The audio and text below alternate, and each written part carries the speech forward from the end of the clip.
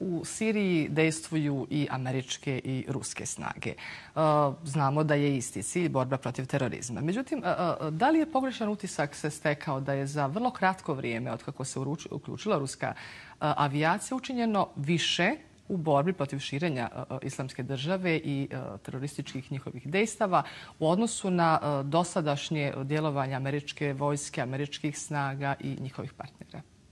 Pa mislim da utisak nije uopšte pogrešan i u ostalom ne treba se baviti utiscima. Postoje egzaktni podaci. Rusija je za 15 dana uradila više nego Amerika za godinu dana. E, ako čovjek to posmatra laički, zapitaće se koja je, to, koja je to jača sila. Da li Rusija ima toliko bolje naoružanje, da li ima toliko bolju taktiku, da li nešto više zna od Amerikanaca. Odgovor je naravno da Rusija sve to ima, ali na taj način se ne dolazi do rešenja. Amerika prosto se nije borila protiv terorizma. Amerika se borila protiv Asada, naoružavala teroriste, nazivajući ih umerenom opozicijom, mada ja ne razumem termin umereni kad se nekome da oružje. Opozicija se valjda ne bori oružjem. Tako da u ovom trenutku imamo jednu zemlju koja se tamo bori u Siriji legalno na poziv predsjednika te države i Ameriku koja se bori protiv predsjednika i koja naoružava teroriste koji se opet bore protiv tog predsjednika, ali se bore i zajedno sa islamskom državom. U jednom trenutku zvanična Moskva je rekla da uh, Amerikanci ne sarađuju i da je potpuno uh, vidljivo da nije jasno i da se ne zna šta im je cilj. Što je Americi cilj? Pa to je vrlo veliko pitanje, ali mislim da je osnovni cilj rušenja Asada. A iza tog osnovnog cilja se naravno kriju njihovi, um, njihove, njihovi interesi i generalno onako opet nafta. To je, mislim, osnovni, osnovni cilj svih tih borbi na teritoriji e, Sirije i drugih zemalja u koje su ratovale posljednjih godina je nafta. Prije nego što pogledamo prilog kako je nastala i šta je zapravo islamska država i koliko je ona opasna za cijeli svijet, samo još jedno pitanje vama. Čim se ruska avijacija uključila u borbe u Siriji, američki mediji, ali i britanski, jako su krenuli sa minimiziranjem ruskog učešća. Šta je cilj te strategije? Pa to je, ja mislim, jedna dvostruka igra. Mislim da Americi uh, E, ne odgovara da se da Rusija u toj borbi pobedi. S druge strane, nije ni loše da se Rusija malo bori. Ta islamska država je zaista opasna za sve. I mislim da su sve te izjave protiv Rusije zapravo sračunate na lokalno stanovništvo, na američko stanovništvo kome se približavaju izbori. Putin je jako zgodan kao meta. On je jako zgodan da se proglasi za najstrašnijeg čoveka na svetu protiv koga se treba boriti.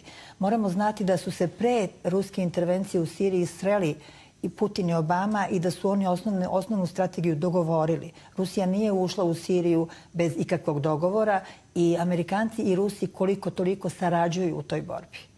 A, u nastavku da pogledamo šta je islamska država i prilog Ljubice Kovačev.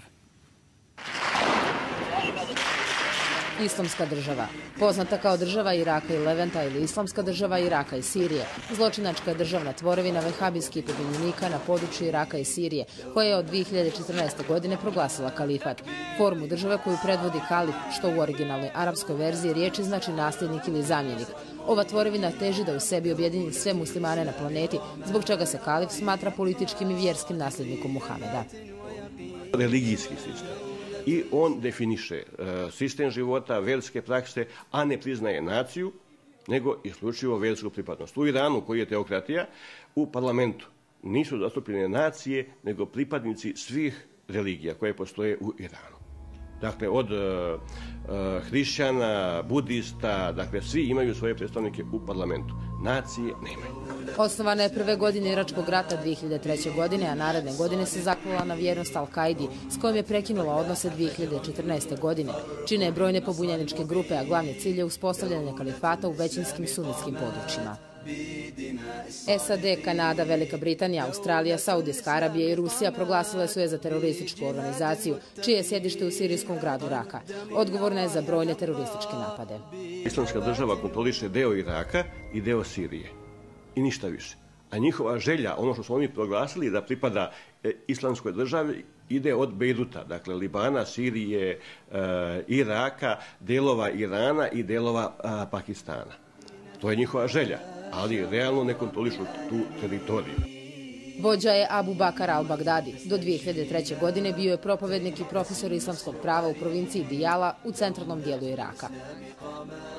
Prema podacima medija, islamska država broji do 200.000 terorista, od čega je blizu 70.000 inostranih plaćenika na teritoriji Sirije, a od toga između 5 i 7.000 iz Rusije i zajednice nezavisnih država. Finansira se od nelegalno eksploatisane i prodavane nafte na crnom tržištu. Sakodnevni prihod iznosi 2 milijarde i 300 miliona dolara. Oko 210 e, cisterni dnevno iz Iraka pređe u Tursku, gde prodaju naftu između 10 do 20 do, dolara po barem.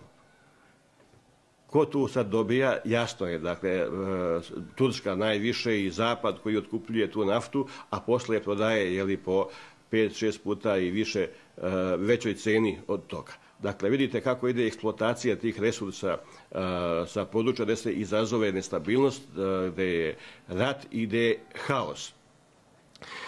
Takođe, interesantno je da više naftnih polja a, Eh, islamska država kontroliše u Siriji nego Iraku. Čak 60% naftnih polja eh, eh, Sirije kontroliše islamska država. Zbog djelovanja Isila 2014. godine, 2 miliona stanovnika Iraka napustilo je svoje domove. U ljeto 2014. militanti počinju ofanzivu na sjeverne i zapadne dijelove Iraka. Vojna avijacija SAD-a izvršila je vazdušne udare na pozicije Isila u Iraku. Slijede udari Velike Britanije, Australije i Francuske. Septembra ove godine Siriji, Iranu i Iraku u borbi protiv islamske države priključuje se Rusija. Njihova avijacija izvodi udare na položaje terorista. Nakon ruske intervencije, ova karta više nije ista.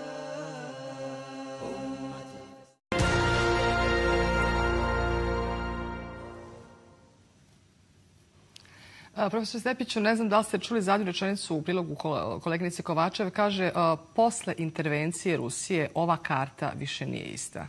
Slažete li se s tim? Svakako da se slažem. Dakle, ruska intervencija je tamo efikasna, ko gospođa Milinčić je o tome već govorila. Međutim, e, trebalo bi obratiti pažnju na činjenicu da je taj prostor Bliskog istoka izuzetno geopolitički važan. Izuzetno geopolitički važan. Dakle, jedan od očeva osnivača geopolitike kao nauke, Helford Mackinder, najbolji poznavalac njegovog dela među Srbima je svakako kolega Željko Budimir, ali on govori o tom prostoru kao o velikoj pukotini. Ta velika pukotina razdvaja u stvari Evroaziju i Afriku. Da se taj prostor geopolitički spoji u jednu geopolitičku celinu, to je onda najveće kopno na planeti kojoj, kojim bi dominirale velike kopnene sile to pomorske sile, nekada Velika Britanija, koja je, gle slučaja, dominirala tim prostorom u kolonijalnom smislu, a sada se i američke države, koje takođe tamo dominiraju, e, gube globalni primat. I, dakle, sem što je taj prostor središte velikih svetskih civilizacija i sem što je bogat naftom, e, mislim da je ovo ključni moment na koji bi trebalo obratiti pažnju. Dakle, u teoriji geopolitičke nauke neke poruke već imamo. A sa druge strane, e, neoevroazijska ruska koncepcija e, je sada u nekoj drugoj fazi svoga ostvarenja i jedan od e, osovina, jedna od osovina prijateljstva, kako to ruski geopolitički teoretičari nazivaju, je usmerena upravo prema Siriji. To postoji u knjigama. Dakle, i, i ti vektori postoje e, tu. Jedan je usmeren ka zapadnoj Evropi, jedan je usmeren ka Bliskom istoku. E, taj ka Bliskom istoku je upravo nacentriran na Siriju. Dakle, to je već sve nekako definisano i sada se sprovodi po tim nekim receptima. Osim što e, ovdje imamo dvije stvari, e, znači borbu protiv terorizma, e, imamo i borbu za gasovod. Sirija je centar i čvorište. Kažite mi, zašto su Rusi, da li će Rusi ući sa, šta mislite, sa kopnenim snagama ili će oni samo ostati sada na ovom, ili je to prema procjeni? Oni će dominantno ostati na vazdušnim udarima i ako budu slali neke kopnene snage, to će biti snage za, za neku podršku, neke snage koje obezbeđuju tamo aerodrome i tako dalje, sigurno ne nekom masovnom kopnenom intervencijom. Hoće li, može li Asad ostati na vlasti? Asad će svakako još neko vreme ostati na vlasti. Tamo je njegova armija jedina legalna i organizovana u pravom smislu reči armija. Međutim, ne bih bio siguran da jednoga dana i njegovo vreme neće proći e, i da bude deo nekog šireg e, dogovora, neke šire pogodbe. Za sada verujem da neće. Da li će u tom slučaju, e, kad bi došlo do toga da sad ode sa vlasti, da li će i Rusija i Sjedinje američke države, s obzirom da je to strateško područje za koje se bore dvije svjetske sile, dozvoliti Sirijicima da biraju svoju vlast? Opstanak e, Asada e, za sada je stvar e, ugleda Rusije. Dakle, neće Rusija odlazak njegov sa vlasti može biti samo deo nekog epiloga u, u krajnjem cilju. Dakle, kao što posle tih revolucija u arapskim zemljama tamošnje stanovništvo nije imalo priliku da bira nekoga na pravi način, tako neće imati ni u Siriji. Gospodin Budimir, da li smo naučili iz bliske prošlosti od arapskog proljeća pa do danas, vrlo svjesni svi učešća velikih sila u kreiranju svjetske karte, pa sad konkretno govorimo o ovom području, da li se danas evropski građanin, pritom mislim na političar, ali mislim prvo na građane, pita ko je kreator ovakvog stanja u smislu da imamo danas e, toliki broj migranata. Prije nego što mi to odgovorite da vas pitam samo kada je riječ o migrantima, e, nekoliko je teorija. Da li, da li su oni izbjeglice po vama ili ekonomski migranti? Pa ovo pitanje je bilo možda boje za profesora Stepića, ali ja ću pokušati da odgovorim. Kad je pitanje migrantska kriza u Evropi, niko se ne bavi uzrocima te krize. Uzroci krize Zato sam vas pitala, da li, se, da li je došlo vrijeme da se evropski građani pitao dakle smo došli u ovu situaciju? Ko je produkovao? Da, oni će se sve više pitati ovaj, šta se dešava kako priliv izbjeglica bude veći. S tim da ja mislim da će sve više izbjeglica ostajati na ovim svojim eh, e, maršutama, pre svega i na Balkanu i u Srbiji, posebno u Srbiji koja je zemlja koja nije članica Evropske unije, koja se nalazi po stalnim pritiskom Brisela, Vašingtona i drugih centara moći.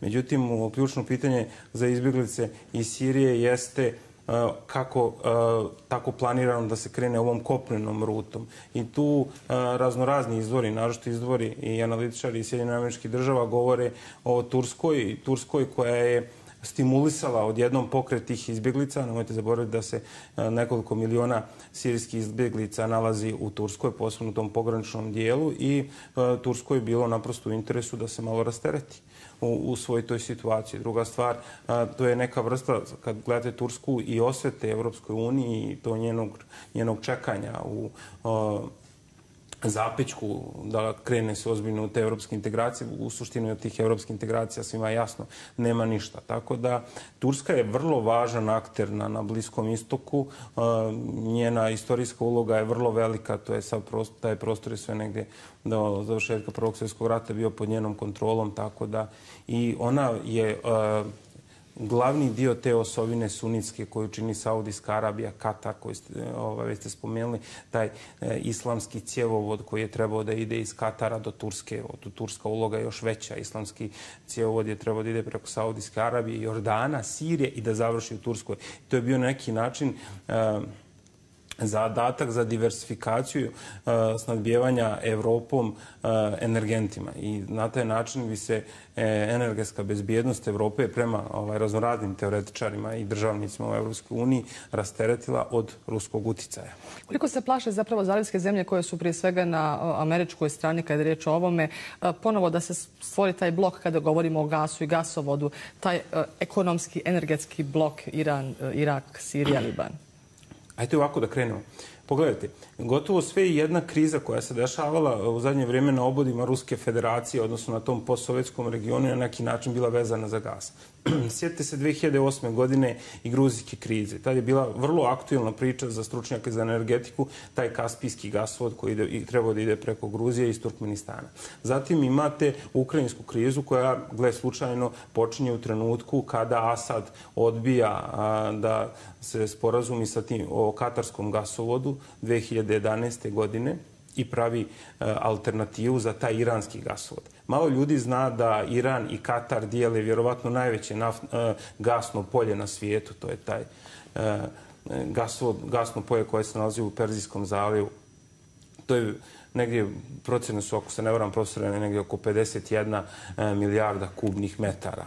Tako da, diversifikacija u prvom u smislu i druga stvar, šta je osnova te geopolitičke strukture koju su napravile Sjedinjene američke države e, u, na prostoru Bliskog istoka. To je ta e, sunitska osovina koju čini njihov glavni saveznik, Saudijska Arabija i te raznorazne apsolutističke monarhije, u pravom smislu reči diktature, tako da je smiješno kad neko e, režim Asada zove diktaturom u odnosu na Saudijsku Arabiju i druge diktature, Asad vam izgleda, iako je on definitivno apsolutista i vlada na taj jedan e, vid, kako se to definiše, e, sekularne uh, diktature, ali on izgleda kao crvenkapa u odnosu na ove da, druge. Na osnovu, da, Jeste, on izgleda bukvalno kao crvenkapa na osnovu na ove druge. Tako da, ali vratimo se, vratimo se gasu ovaj, i ulozi Turske. Turska je e, ključna zemlja u svim tim varijantama koje, koje su bile za gasovod i bile iz Kaspijskog regiona, za gasovod iz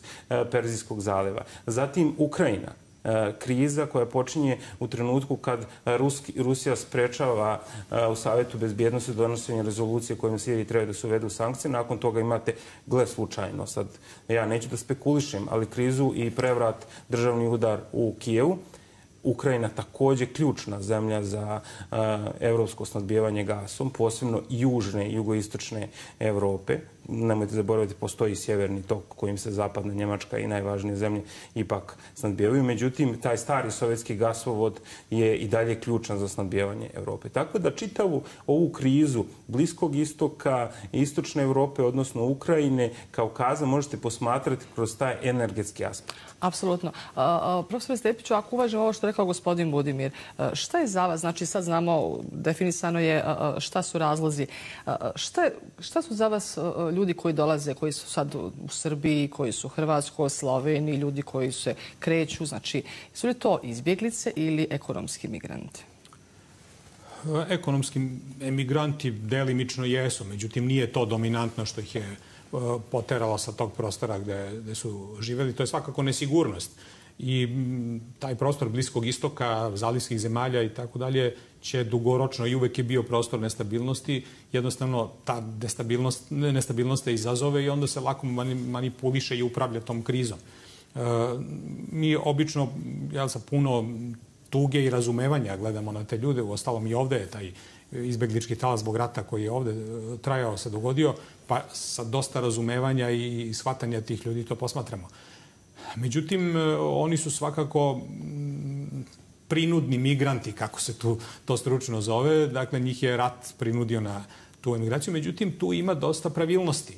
E, ima već dosta naučnih skupova koji se održavaju na tu temu i vidjet će se da oni tačno znaju rutu kojom idu, e, tačno su i dobro snabdeveni finansijski, znaju gde idu i ima dosta nelogičnosti.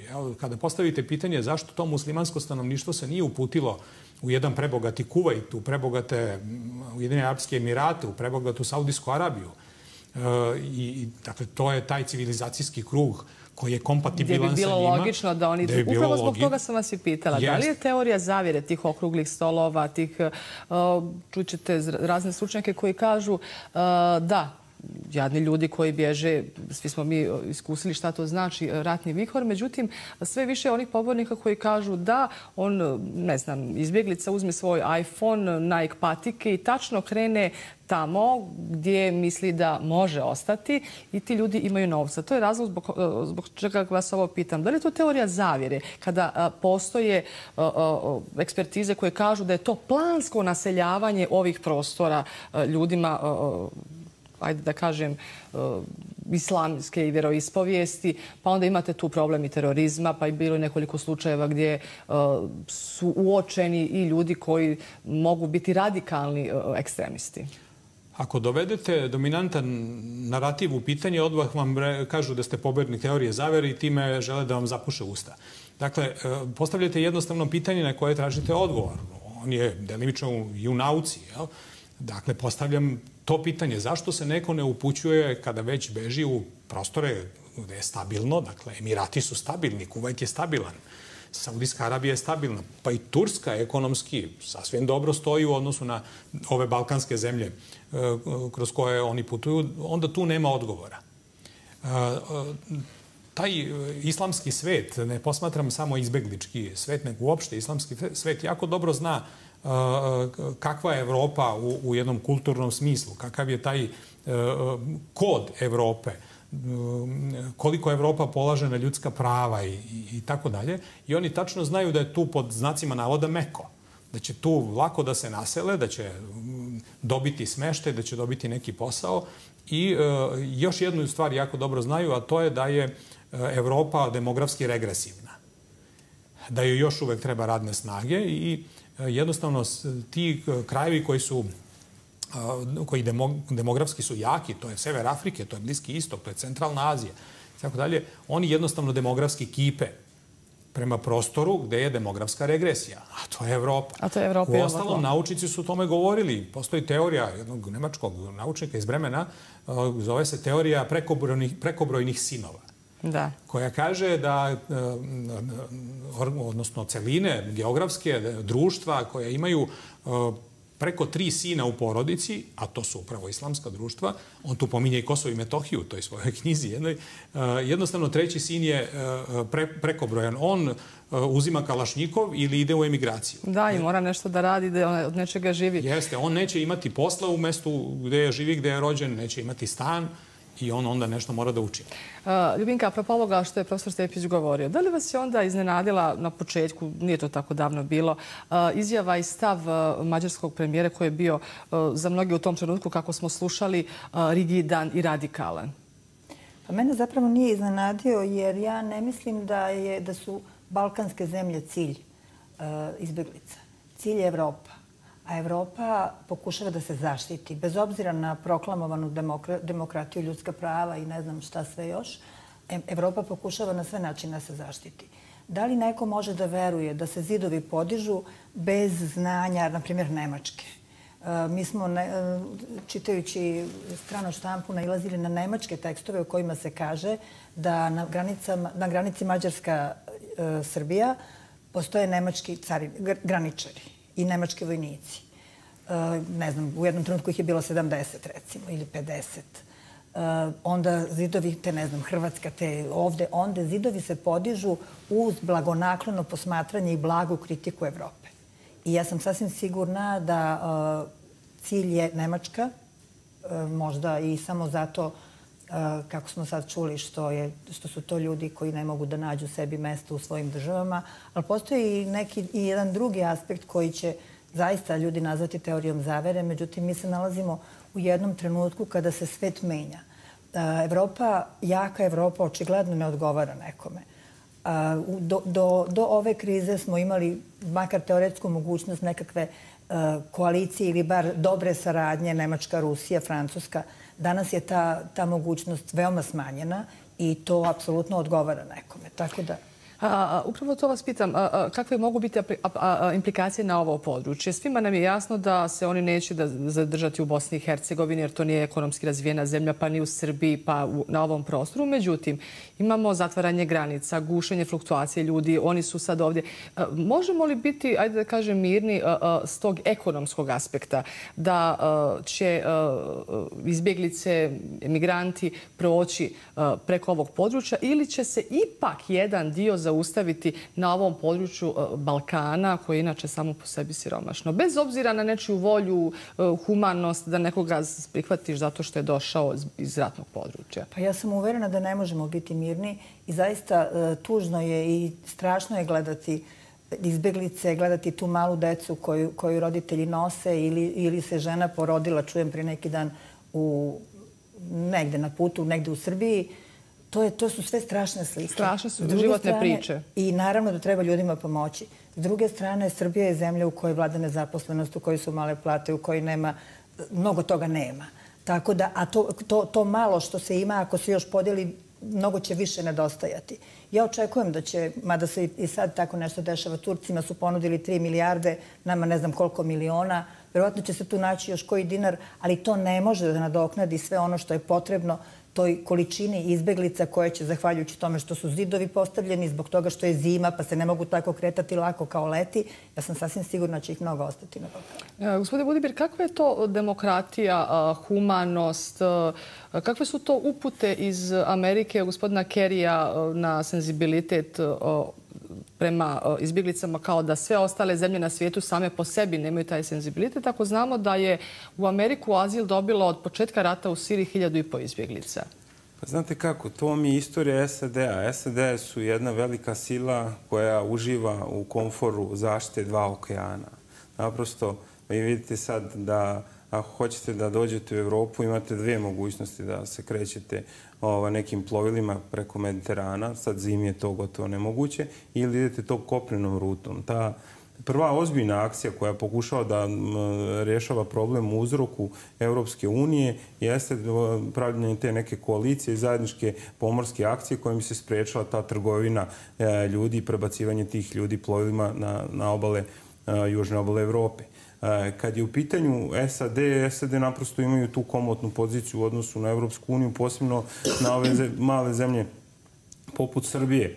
Druga stvar, Srbija je pokazala, kad ste rekli senzibilitet, apsolutni senzibilitet ovde ljudi, uključujući i mene. I ja sam bio u izbjegličkoj koloni 95. godine, moja porodica ostala bez svega. Ja kad vidim ženu i dijete kad, da kisnu, ja naprosto ovaj, e, se jako osjećam loše i pogođeno sa tom situacijom. Međutim, Problem je što su ovdje sve države sa ograničenim suverenitetom u čitavim ovom jednom području i pitanje šta mi u stvari, o čemu mi odlučujemo. Ja sam ovdje da pomenem kvote. Niko ne govori i niko ne zna o čemu se radi kad se u Briselu govori o kvotama. Koliko ljudi treba da prihvati neka zemlja. Ta, ta je politika, odnosno ta strategija kvota je bila propala. Koliko će ovaj, e, kolika će kvotu da dobije Srbija da primi tih ljudi? Ja stvarno ne znam. Ali koliko god da primi, Srbija sa svim ovim problemima s kojima se susreći, ovaj, to će biti previše. Druga stvar, nemojte zaboraviti bezbedonosni aspekt svih tih ljudi koji dolaze. Da, to smo rekli sada oni dolaze, da je... Oni dolaze sa područja ratišta, ovaj, eh, gdje je taj transnacionalni terorizam i, i, i islamski eh, radikalizam jako prisutan. Naše obaveštajne strukture gotovo da nemaju nikakav kapacitet da to isprate. To, ni, to nisu malo obveštene strukture, ni turski, Pa zbog toga u Turskoj imate sada u Istanbulu ovaj, onakve situacije. Nemoguće, ovaj, Grci su u jednom trenutku samo digli ru, ruke kad je taj priliv bio ovaj, prevelik. A, profesor Stepiću, upravo ta jedna komotna pozicija Sjedinja američkih država, da li je imalo, probudila svijest e, Njemačke, Francuske, Britanije, a, kao da, ka, kao da nije baš uh, očekivano, kao da Amerika ili, ili Evropa, govorimo ove tri zemlje, nisu baš očekivali uh, uh, ovakav udar. Jer ovo pravi udar jer oni još danas nisu našli neku strategiju. Da li je uh, sad njihov uh, stav prema Americi, oni će uvijek biti, ajde da kažem, blagonakloni i okrenuti tradicionalno Americi, da li je promijenjen stav prema Rusiji koja je bila svjesna uh, terorizma uh, i nedaća zbog bivših sovjetskih zemalja gdje se oni susreću sa tim problemom? Znači, da li, je, uh, da li su tri e, evropske zemlje, Njemačka, Francuska i Britanija, svjesne zapravo da negdje je došlo do, do e, e, problema u, u američkom proračunu kada je riječ o ratu u Siriji, o borbi za gas i izbilicama koje su tu. Jer je Angela Merkel već na neki način uh, poručila Amerikancima dajte, prihvatite uh, ovih ljudi i rasteretite, ajde da kažem, evropski prostor. Tu bi trebalo razdvojiti te tri zemlje. Dakle, jedan je odnos koji ima Nemačka sa Rusijom i obrnuto, potpuno drugi E, Francuska, a Velika Britanija je potpuno nešto treće. Velika Britanija je On potpuno privržena. Vjeruju, potpuno su privrženi s američkim državama, hteli, ne hteli. E, sama Evropska unija, mi ovdje nečeće govorimo o Evropi, ja bih govorio o Evropskoj uniji. To je različito od Evrope, dakle i Rusija je Evropa. E, dakle, Evropska unija je čedo hladnog rata. Evropska unija je kreacija Sjedinjenih američkih država posle drugog svjetskog rata. Prvo kao Evropska zajednica za ugalj i čelik, pa je kasnije menjala te, ta imena do Evropske unije. Evropska unija je u stvari ekonomsko-političko krilo transatlantizma. Ako je NATO vojno krilo, Evropska unija nije ništa drugo. Ako se, ako se pogleda suština, ako se razgrne ta magla e, retorička, često ćete čuti i evropske funkcionere koji kažu, recimo, nekadašnji funkcioner Herman Van Rompuy je rekao mi smo na istom brodu, svi američke države da. i Evropska unija. Dakle, Evropska unija, pomenuje kolega Budimir, e, i sama Evropska unija kao celina ima ograničen suverenitet. Ona ne može da povuče poteze koji su suvereni. Ona ne može da povuče potez da se potpuno orijentiše na, na ruski gas. Ono što bi bio evropski interes. Ona mora da sluša sve američke države. Ona mora da uvede sankcije Rusiji, iako najradije ne bi, pogotovo u Nemačka. Koliko sad uh, SAD, uh, e, NATO, e, i, i konfuzija koja je nastala o izbjeglicama kao da ih nisu očekivali u ovom broju, zapravo je uzdrmala i naše prostore. E, evo i dan danas govorimo o Crnoj Gori. Nije se baš očekivalo da će u Crnoj Gori na očigled svih, Pa ajde da kažemo, protesti, opozicije, prirasti ovako nešto što je prilično ozbiljno, pa se oglasio i Brisel, i Vašington i Rusija. Rusija je prilike rekla, svi pozivaju na mir, naravno i suzdržano, ostali da nije sreća zašto SAD i zapadni partneri tako silno privlači i e, sugerišu Crnoj Gori da uđe u NATO. Crna Gora je mala e, zemlja teritorijalno i po broju stanovnika, ali u ovom momentu veoma značajna. E, veoma je značajno da jedna pravoslavna zemlja, tradicionalna, e, tradicionalni ruski prijatelj i obrnuto uđe u, u, NATO i da bude jedna, kao simbol u stvari u ovom jednom momentu. I time NATO ne bi dobio mnogo u tom geostrateškom smislu svakako. Jel? E, mada Crna Gora nije geostrateški nebitna, ona je blizu Ormuskog tesnaca, tu izlazi na e, Ormuskog, pardon, Otranskih vrata, e, izlazi na Jadransko more, ima dosta povoljnih mesta za, za vojne baze i tako dalje, ali je u tom simboličkom smislu njena važnost trenutna. Dakle, ona nije nešto dugoročno važno, ali u ovom momentu da se pokaže kako je to jedna pravoslavna zemlja, jedan tradicionalni ruski prijatelj, prelazi na stranu NATO i euroatlantizma. A, imaju li oni alternativu? Ima li Crna Gora alternativu? Ili ona mora u NATO? A to je veliko pitanje, ne samo Crne Gore. Nego evo, govorimo nas. konkretno o njima jer je zaista evo vrlo Srbije. turbulentno. Da. Pitanje je da li su njihove odluke, pa i odluke Srbije, htenje ili moranje. Na to vas pitam. Pa moranje. Vi? Pa ja isto tako mislim. Mene stalno zaokuplja ta misao šta može mala zemlja kad se nađe kao slamka među vihorove. Mislim da je u toj rečenici sve rečeno. E, ne može mnogo. E sad, e, ne znam e, da li je za 30 godina rukovodđenja Crnom Gorom njen predsjednik mogao drugačije da li da se pre deset godina ili manje ipak drugačije orijentisao, možda ne bi došao danas u ovu situaciju, možda niko ne bi shvatio da tih 500.000 ljudi nešto naročito znači i da baš njih treba suprotstaviti Rusiji. Jer to na prvi pogled deluje smešno. Da. To je jedna opština u Moskvi, mislim. To je toliko smešno da, da čovjek ne zna kako to da nazove. Ali očigledno je bilo i to potrebno. Tež, mislim da je za Crnu Goru teška situacija jer crnogorski narod je podeljen maltene na pola. Koliko su oni zapravo sad e, e, polarizovani i zapravo e, da li se može desiti, da li može doći do eskalacije nemira? Ja mislim da su oni veoma polarizovani i 10.000 ljudi, ako je tačan podatak koji mediji navode, je jako mnogo za Crnu Goru. Mm, to je nešto kao 100.000 u Beogradu, recimo, a kad se 100.000 ljudi pojave na ulicama Beograda, to baš nije naivno.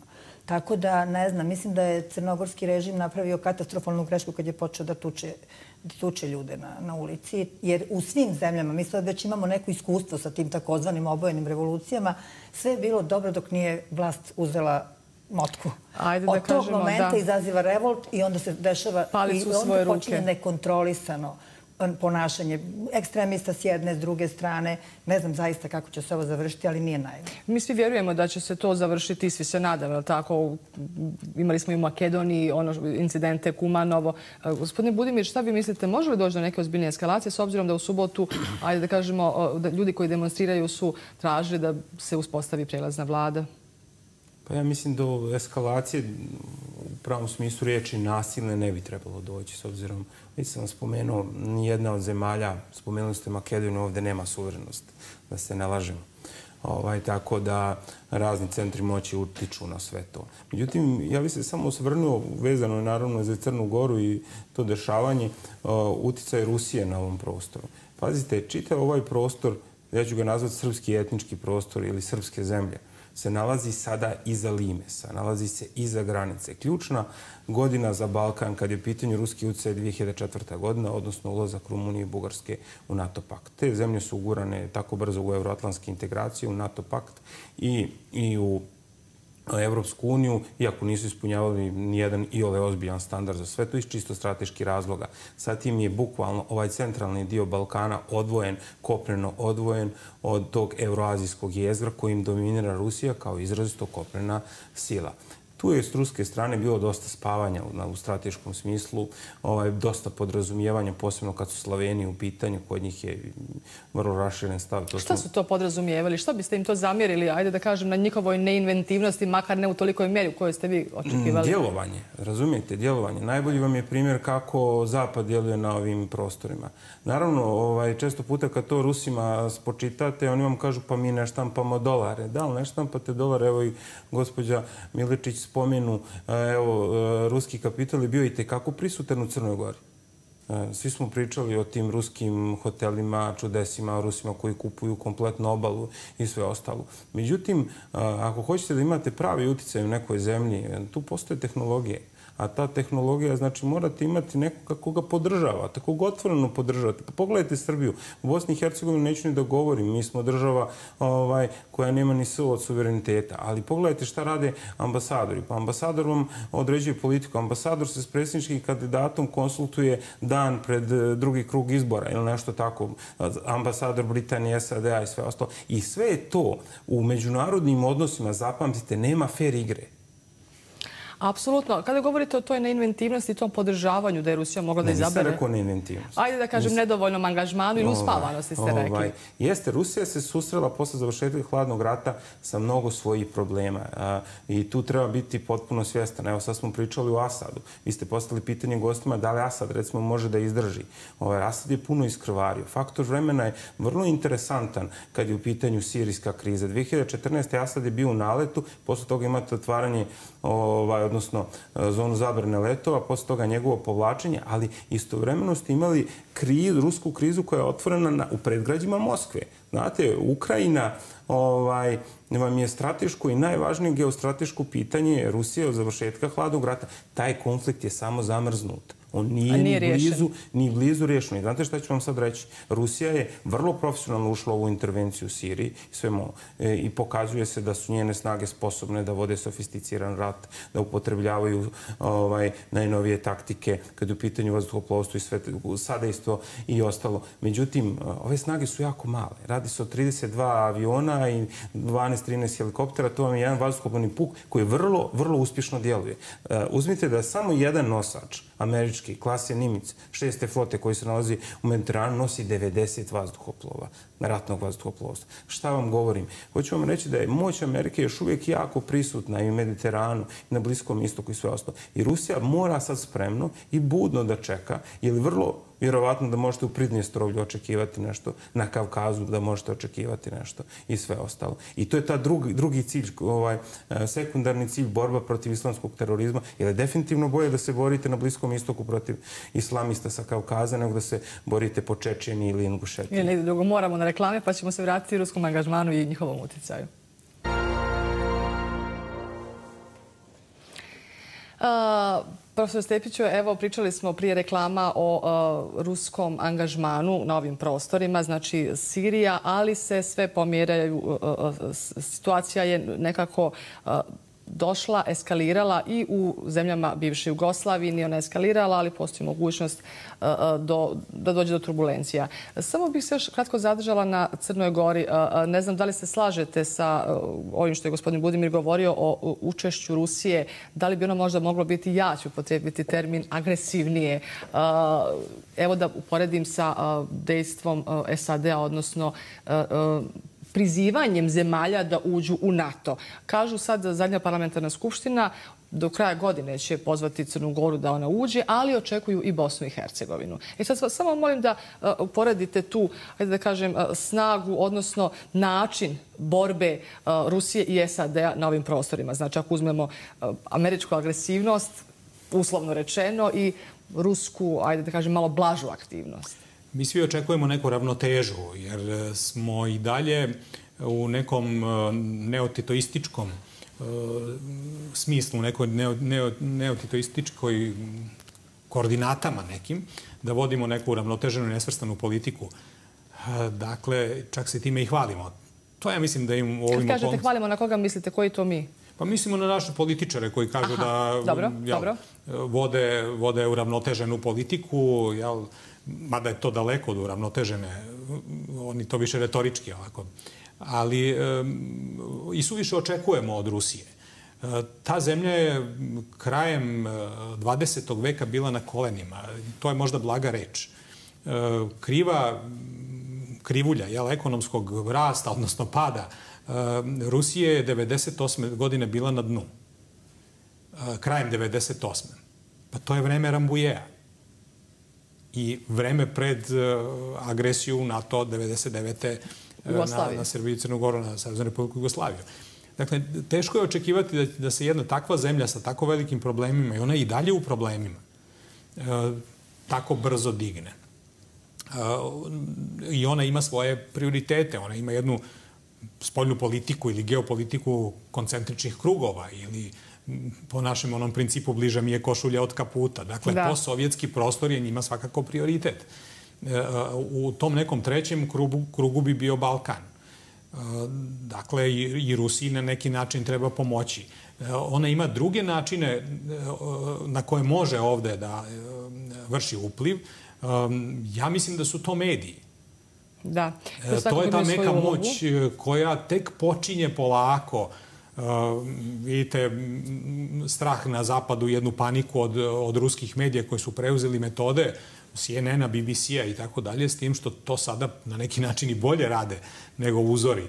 I, i, ali to još uvek ide jako sporo, jer pozicije koje je Rusija imala pa izgubila, vrlo teško se vraćaju, jer neće niko da ih pusti da rade slobodno. Jako me zanimaju ti vaši krugovi koji ste rekli, odnosno prioriteti Rusije, a u kontekstu izjave uh, predsjednika Srpske akademije nauke i umjetnosti u Srbiji, gospodina Vladimira Kostića, uh, gdje je, u kom je krugu Srbija Rusiji, jer je on izazvao veliku buru svojom izjavom, rekavši da je otprilike odnos e, Srbije i Rusije e, vještačka nekakva tvorevina. E, naravno, pomenuto je i Kosovo, gdje, parafraziraću, naravno, gospodin Kostić rekao da je već vrijeme da se kaže narodu da Kosovo ne pripada Srbiji. I e, uh, pomenuje i Republiku Srpsku u tom kontekstu i njen značaj u smislu da uh, treba obratiti pažnju na Republiku Srpsku i na ljude koji žive ovdje. Često se Republika Srpska pominje u smislu kompenzacije za navodni gubitak Kosova i Metohije. Nekada se govorilo u tom smislu uh, Kosovo za Republiku Srpsku krajinu, model K za K, to su lansirali Fehmi Agani i uh, Ibrahim Rugova. Međutim, mislim da je to jedna zamka u koju upadamo. Republika Srpska je gotova stvar, to je naše. Mi hoćemo da menjamo naše za naše. U smislu naše Kosovo i Metohiju za našu Republiku Srpsku. Dakle, to je jedna varka. A um, komentar na izjavu predsjednika Srpske akademije nauka ćete dobiti od mene, ali nećete dobiti od akademika. E, valjda se nečega plaše. E, njega pozicija predsjednika Akademije nauka, Srpske akademije nauka obavezuje. Ne može on da nastupi u svoje ime. Može da nastupi u, u smislu svoje profesije i da kaže neki sud profesionalni o oblasti kojom se bavi. E, ovo je sud koji je vrlo bitan za naše nacionalno pitanje i on tu nije iskazao sud Srpske akademije nauka, nego svoj. E, mislim da na to, na takav način nema pravo. Može o struci o kojoj, kojom se bavi. E, izazvo je opravdano animozite, daleko od toga da ja hoću da mu osporim pravo da nešto kaže. Daleko od toga svakako. Ali e, nikada nećete čuti predsjednika Hrvatske akademije koji je svojevremeno mogao da kaže da je Republika Srpska krajina i de jure i de facto gotova stvar. To nikada niste mogli da čujete. Ili predsjednika uh, Akademije nauka Bosne i Hercegovine u Sarajevu da kaže Republika Srpska treba da se ocepi, to je gotova stvar. Nećete čuti predsjednika e, Kosovske takozvane Akademije nauka da kaže Kosovo je deo Srbije. Ne, samo predsjednik Srpske akademije nauka. Imali smo ranije i, i, i od drugih predsjednika slične izjave, će reći i dovesti u pitanje nešto što nije samo teritorijalni integritet Srbije, nego je nešto što je, što je osnova našeg identiteta. E, ja sam možda oštar, jel? neću postati član Srpske akademije nauka, ali treba jednom reći i to. Uh, sad me zanima vaš stav, uh, gdje je, što bi Srbi voli da, vole da kažu, šta je Srbija Rusiji u tom kontekstu? Znači, pitala sam za te krugove, nije prioritet, ali naravno u ovom kontekstu u kojem je pominjao gospodin Kosić, šta vi mislite? O Srbiji se davno govori jel, da je konjovodac ruskih kozaka do toplih mora. da je, da je predgrađe, jel, da, je, da je jedna prethodnica Rusije na Balkanu i tako dalje. Dakle, taj pravoslavni slovenski identitet, srpski, ta sličnost koja je e, mnogo veća nego što na prvi pogled izgleda je nešto što nas dovodi u tu vezu. Ima koliko mi e, dokazivali i želili da to ne budemo, dokazivali to pred Zapadom, Zapad nas takvim posmatra i to ništa neće promeniti. Ljubinka, profesor Stepić je već rekao, pomenuje medije. Jednu histeriju medijsku mi već odavno imamo na ovim prostorima, a to je strah od ruskog uticaja rusofobija. E sad, ja vas molim da kažete, agencija Sputnik to je apsolutno nezaobilazna tema večeras. Mediji koje postao jako uticajan i evo i profesor je sam prije mene rekao da ja ne komentarišem, izuzetno brza, e, respektabilna agencija. E, koliko zapravo e, se može mediji u ovom trenutku takmičiti mediji poput ruske agencije Sputnik u odnosu na medije u Americi za koje smo vidjeli sjajno obavljaju svoj posao na način na koji to oni rade? Hvala vam prvo za takve pohvale. Meni to jako prija. Ruska agencija Sputnik se ne takmiče sa Amerikancima jer je to borba koja bi zahtevala mnogo veće snage nego što mi u ovom trenutku imamo. Amerika je na ovim prostorima mnogo godina.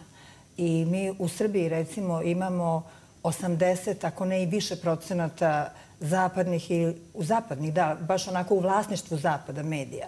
Ovo je jedini. I to je, agen, to je agencija, dakle imamo sajt i imamo radio emisiju koja traje tri puta dnevno po pola sata. Odakle tolika snaga, odakle tolika toliki strah od nas. To ja tumačim kao strah od istine.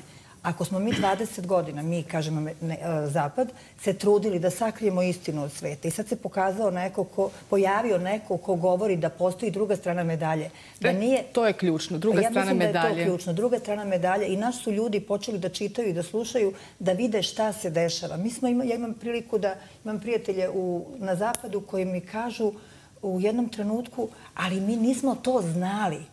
Mi nismo znali, jer ljudi koji žive na zapadu čitaju njihove novine, gledaju njihovu televiziju, oni ne znaju šta se zapravo dešava. Mi smo koliko toliko u, Srbiji i nekad u Jugoslaviji navikli bili da imamo i neke opozicione medije, da nekad pročitamo i ovu i ove i one novine, pa da sami tražimo istinu. Sad više toga nema. Sad imamo samo jednu istinu, to je zapadna istina. Upravo sam zato i pomenula riječ takmiči. Zato što mi svih prethodnih godina, znači više od decenije, dvije decenije, imamo tu, ajde da kažem, uglavnom jednu stranu kada su u pitanju i događaji u ratovima u Bosni i Hercegovini, u Hrvatskoj ratovi. Koliko su važni mediji? Zbog toga sam pitala jer je zapravo imali smo to jednu prevlast, klasično jednu prevlast, njihovu dominaciju na ovim prostorima. Pa pitate novinara koliko su važni mediji. Mediji su veoma važni, ali ja vam mogu reći na jednom primjeru koji pratim posljednjih nedelju dana. To je fascinantno. Mi smo se trudili da na našem sajtu uvijek imamo temu Kosova. I tako reći svakog dana mi imamo neku, neku priču o tome. I to su nam najmanje čitani tekstovi. Zašto?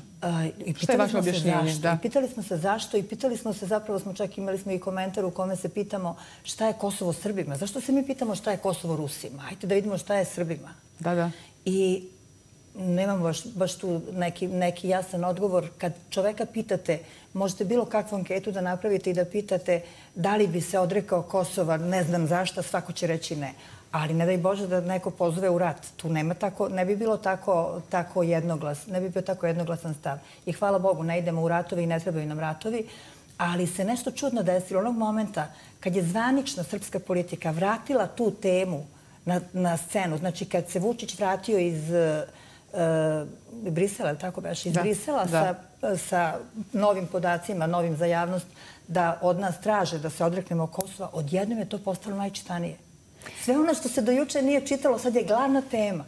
E, hajde da pitam vas, gospodine Budimir, da ne bude da sa novinarem pričamo o značaju medija. Koje je vaše gledište? Evo, upravo to da pitam i usput još jedno pitanje. Je li sad, kako se Vučić vratio iz Brisela, ovo što gospođa Milinčić govori, Kosovo, Srbija ucijenjena? Odustajem od Kosova.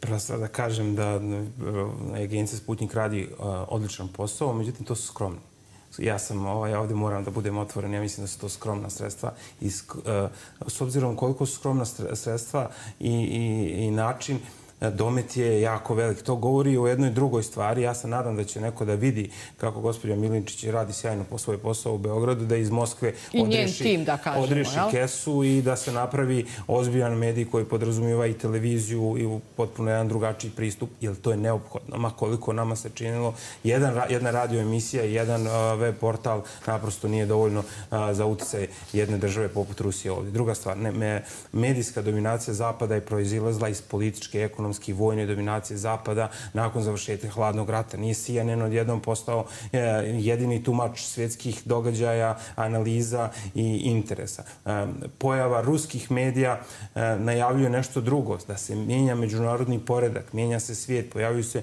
novi polovi moći. Teoretičari to već nazivaju najavom multipolarnog svijeta. I u to, to je ono što mi u Srbiji treba da iskoristimo. Sad, to drugo pitanje. Da li je Srbija ucijenjena? Pa Srbija nije prestala da bude ucijenjena od kad je postala samostalna. Konstantno, vidite, Srbija mora da ispuni uslove, e, poglavlja, ovo, ono. Druga stvar, mi ne znamo o čemu se pregovara. Evo ja koji pratim situacija pokušavam da dokučim o čemu se pregovara o Brisilču. Govori se o nekim groznim stvarima, groznim uslovljavanjima. Meni je ta netransparentnost neprihvatljiva za jednu demokratsku državu. I druga stvar, sad ste vidjeli da taj bezalternativni put ka nečemu, E, ja lično mislim da je glavni cilj bilo koje države, pa je bila mala, bila velika sa skromnim resursima i sa ogromnim resursima, nije nacionalni interes. Na, nacionalni interes je nešto o čemu se ne pregovara na ovaj način. Profesor Stepiću, e, da li vi možete da dokučite e, o čemu se sad pregovara, o čemu vlasti Srbije pregovaraju kad riječ o Kosovu, ima li ucijene, moraju li pokleknuti i šta mislite šta će uraditi vlast u Srbiji? Naša sudbina izgleda to moranje. E, e, da ne odem daleko u prošlost, ali i stvaranje Kraljevine Srba, Hrvata i Slovenaca je pre bilo moranje nego htenje. Iako se đaci i studenti uče drugačije. Da, je, da smo se mi pojavili u Parizu i rekli mi hoćemo Jugoslaviju, odnosno Kraljevinu Srba, Hrvata i Slovenaca i da su nam oni to dali. Ne, kreirali su je drugi i to je već sada jako dobro poznato, samo to sebi treba priznati. Tako je i danas. Dakle, Srbija je nemoćna, E, e, svaka garnitura koja dođe, ona napravi po neki ustupak. Jednog dana ćemo doći u poziciju da će neko da kaže pa e, Kosovo i Metohiju smo već izgubili, ajde da ne izgubimo i Evropsku uniju. Mislim da se taj moment približava i da se samo traži način da se to nekako saopšti. Ja ne smatram da je Kosovo i Metohija izgubljena teritorija ako se išta brzo menja na Balkanu, to su teritorije i granice. E, tome, evo i naša generacija je prisustovala u više navrata, u više mahova. Tako da do promjena može doći i, i relativno brzo. Kolega Budimir je pomenuo da se neki odnosi u svetu, da se taj poredak menja. To neće biti tako brzo, ali svakako u odnosu na period od pre 10-15 godina, kada su Sjajne američke države sa svojim unipolarnim svetom bilo toliko dominantne da niko nije mogao da im priđe ni blizu, to sada nije slučaj. I nekoliko zemalja e, tu već može da kaže ne, može da se uloži veto u Savetu bezbednosti, što nije davno zapaženo. Dakle, to su neki pokazatelji, evo i Sirija sa kojom smo počeli emisiju je jedan od tih e, pokazatelja. E, treba se boriti, treba nikada ne odustati, ali to je neka formula. Hvala vam lijepo. Pred sam smo kraj emisije. Gospodine Budimir, ne mogu da ne pitam, nećemo unutrašnjoj politici u Bosni i Hercegovini, niti Republici Srpskoj, ali e, moram da vas pitam, e, da li e, su u Bosni i Hercegovini e, svjesni e, sintagme koju često političari koriste, ali da li su zaista svjesni opasnosti od širenja islamskog fundamentalizma i kako ocjenjujete borbu protiv terorizma u Bosni i Hercegovini? Postoji li uopšte prostora da se bave u, u, zbog dnevno, dnevne politike i unutar stranačkih prepucavanja? Pa tu ima, postoje tu ohrabrenje, definitivno. Ja ovaj, ne pripadam ni jednoj političkoj partiji, tako da ajde pokušam objektivno da sagledavam neku situaciju. Mislim da sadašnji ministar unutrašnjih poslova radi svoj posao fenomenalno. Svatio je ovaj, da je napokon došlo vrijeme da se MUP Republike Srpske modernizuje, da se njegove snage ovaj, opreme adekvatno, naročito te snage koje trebaju da snose taj teret borbe protiv terorizma poput specijalne jedinice policije to je vjerojatno jedna od najprofesionalnih jedinica u regionu koja je jedno vrijeme, moram da, da priznam, nije bila adekvatno tretirana. Ovaj. Tako da, ja lično, kad je u pitanju Republika Srpska, vidim uh, taj tvrdi odgovor na, na terorizam kao uh, početak E, dobrog postupanja u tome. Vidim neki plan kad je u pitanju ministarstva unutrašnjih poslova, dok s druge strane... Ali nivo Bosne i Hercegovine, jer je to e, već... Sad sam došao do toga. Dok s druge strane, E, postoji nešto e, kao što je tolerisanje kad su pitanju američki napade na one Toyota ofanzive, pa se mi čudimo sad na početku emisije otkud e, teroristi mogu da izvode onakve operacije u pustinji. E tako je u Bosni i Hercegovini. Onako pomirljivo se gleda na, recimo, juče neki dan smo imali situaciju zastav islamske države ispred parlamenta, ili bi parlamenta. Predsjedništvo Bosne i Hercegovine, Bosne i Hercegovine, sve ostalo. To se onako pređe u vijestima, to se spomene jedan dan. Imali smo situaciju sa ovim E, E, napadom u Zvorniku, vrlo brzo se zaboravila ta situacija. Mi naprosto zaboravljamo da je ovo vrlo nestabilan prostor. I druga stvar, sa islamskim terorizmom u Bosni i Hercegovini moraju najozbiljnije da se pozabave e, bošnjaci. To je njihov zadatak ovaj, u Bosni i Hercegovini. Hvala vam lijepo. Ja ću emisiju završiti sa gospođom Milinčić, kao što sam mi počela. Treba da kažem gledalcima da je gospođa Milinčić autor nekoliko knjiga o Vladimiru Putinu. Imala je tu privilegiju i čast da često boravi s njim, da se susreće sa gospodinom Putinom. Pa bi ja samo za kraj vas Ljubinka zamolila nešto da kažete što je ovako interesantno za naše gledalce, a što je lično vezano za Vladimira Putina i što će njega, hajde da kažem, približiti našim gledalcima ne ovo što vidimo e, na medijima, već evo ja ću izdvojiti nekoliko rečenica koje ste vi napisali. E, kad se naljuti ne viče, ali sjevaju munje, e, drskost i neskromnost ga nerviraju, drži obećanja i to traži od drugih. Obavezno svakoga dana čita sve novine, a ne sažete kao što mu pripremaju saradnici. Želi sam da napravi izbor, gleda i vijesti na televiziji kada je kod kuće. E, e, ko je Vladimir Putin ovako kad ste ga sretali pa s njim imali prilike da porazgovarate i lično? Pa to je pitanje koje se postavlja već godinama. Od momenta kad je on došao na vlast, e, ceo svet se pita ko je Vladimir Putin. Ono što čovek vidi, ja bih podelila podelila jedno sećanje na sastanak koji je bio povodom ukrajinske gasne krize, one prve, e, kad je pola Evrope ostalo bez gasa i kad je u svojoj vili on okupio novinare iz tih zemalja.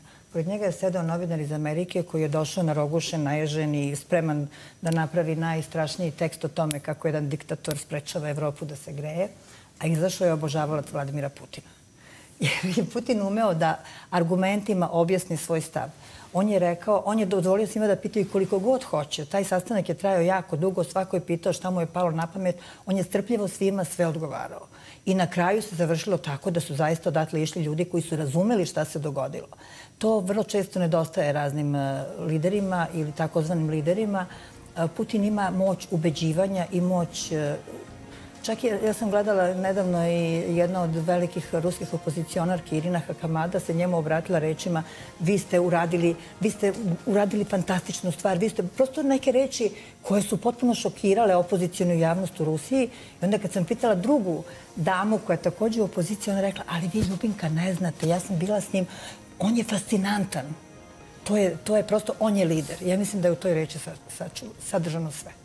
Gospodo, mnogo vam hvala što ste izdvojili vrijeme i bili gosti e, televizije Republike Srpske. Hvala vam. Poštovani gledalci, hvala i vama što ste nas gledali. Naravno, učinite... Asada e, za sada je stvar e, ugleda Rusije. Dakle, neće Rusija odlazak njegov sa vlasti, može biti samo deo nekog epiloga u krajnjem cilju. Dakle, kao što posle tih revolucija u arapskim zemljama e, tamošnje stanovništvo nije imalo priliku da bira nekoga na pravi način, tako neće imati ni u Siriji. Gospodin Budimir, da li smo naučili iz bliske prošlosti od arapskog proljeća pa do danas, vrlo svjesni svi učešća velikih sila u kreiranju svjetske karte, pa sad konkretno govorimo o ovom području, da li se danas evropski građanin, pritom mislim na političar, ali mislim prvo na građane, pita ko je kreator ovakvog stanja u smislu da imamo danas e, toliki broj migranata. Prije nego što mi to odgovorite, da vas pitam samo kada je reč o migrantima, e, nekoliko je teorija. Da li, da li su oni izbjeglice po vama ili ekonomski migranti? Pa ovo pitanje je bilo možda boje za profesora Stepića, ali ja ću pokušati da odgovorim. Kad je pitanje migrantska kriza u Evropi, niko se ne bavi uzrocima te krize. Uzroci krize Zato sam vas pitala, da li, se, da li je došlo vrijeme da se evropski građani pitao odakle smo došli u ovu situaciju? Ko je produkovao? Da, oni će se sve više pitati ovaj, šta se dešava kako priliv izbjeglica bude veći. S tim da ja mislim da će sve više izbjeglica ostajati na ovim svojim e, maršutama, pre svega i na Balkanu i u Srbiji, posebno u Srbiji koja je zemlja koja nije članica Evropske unije, koja se nalazi po stalnim pritiskom Brisela, Vašingtona i drugih centara moći. Međutim, ključno pitanje za izbjeglice iz Sirije jeste E, kako e, tako planirano da se krene ovom kopnenom rutom. I tu e, raznorazni izvori, naročito izvori i analitičari iz Sjedinjene američke država govore o Turskoj, Turskoj koja je stimulisala odjednom pokret tih izbjeglica. Nemojte zaboraviti da se nekoliko miliona sirijskih izbjeglica nalazi u Turskoj, posebno u tom pograničnom dijelu i Turskoj je bilo naprosto u interesu da se malo rastereti u, u svoj toj situaciji. Druga stvar, a, to je neka vrsta, kad gledate Tursku i osvete Evropskoj uniji i to njenog, njenog čekanja u a,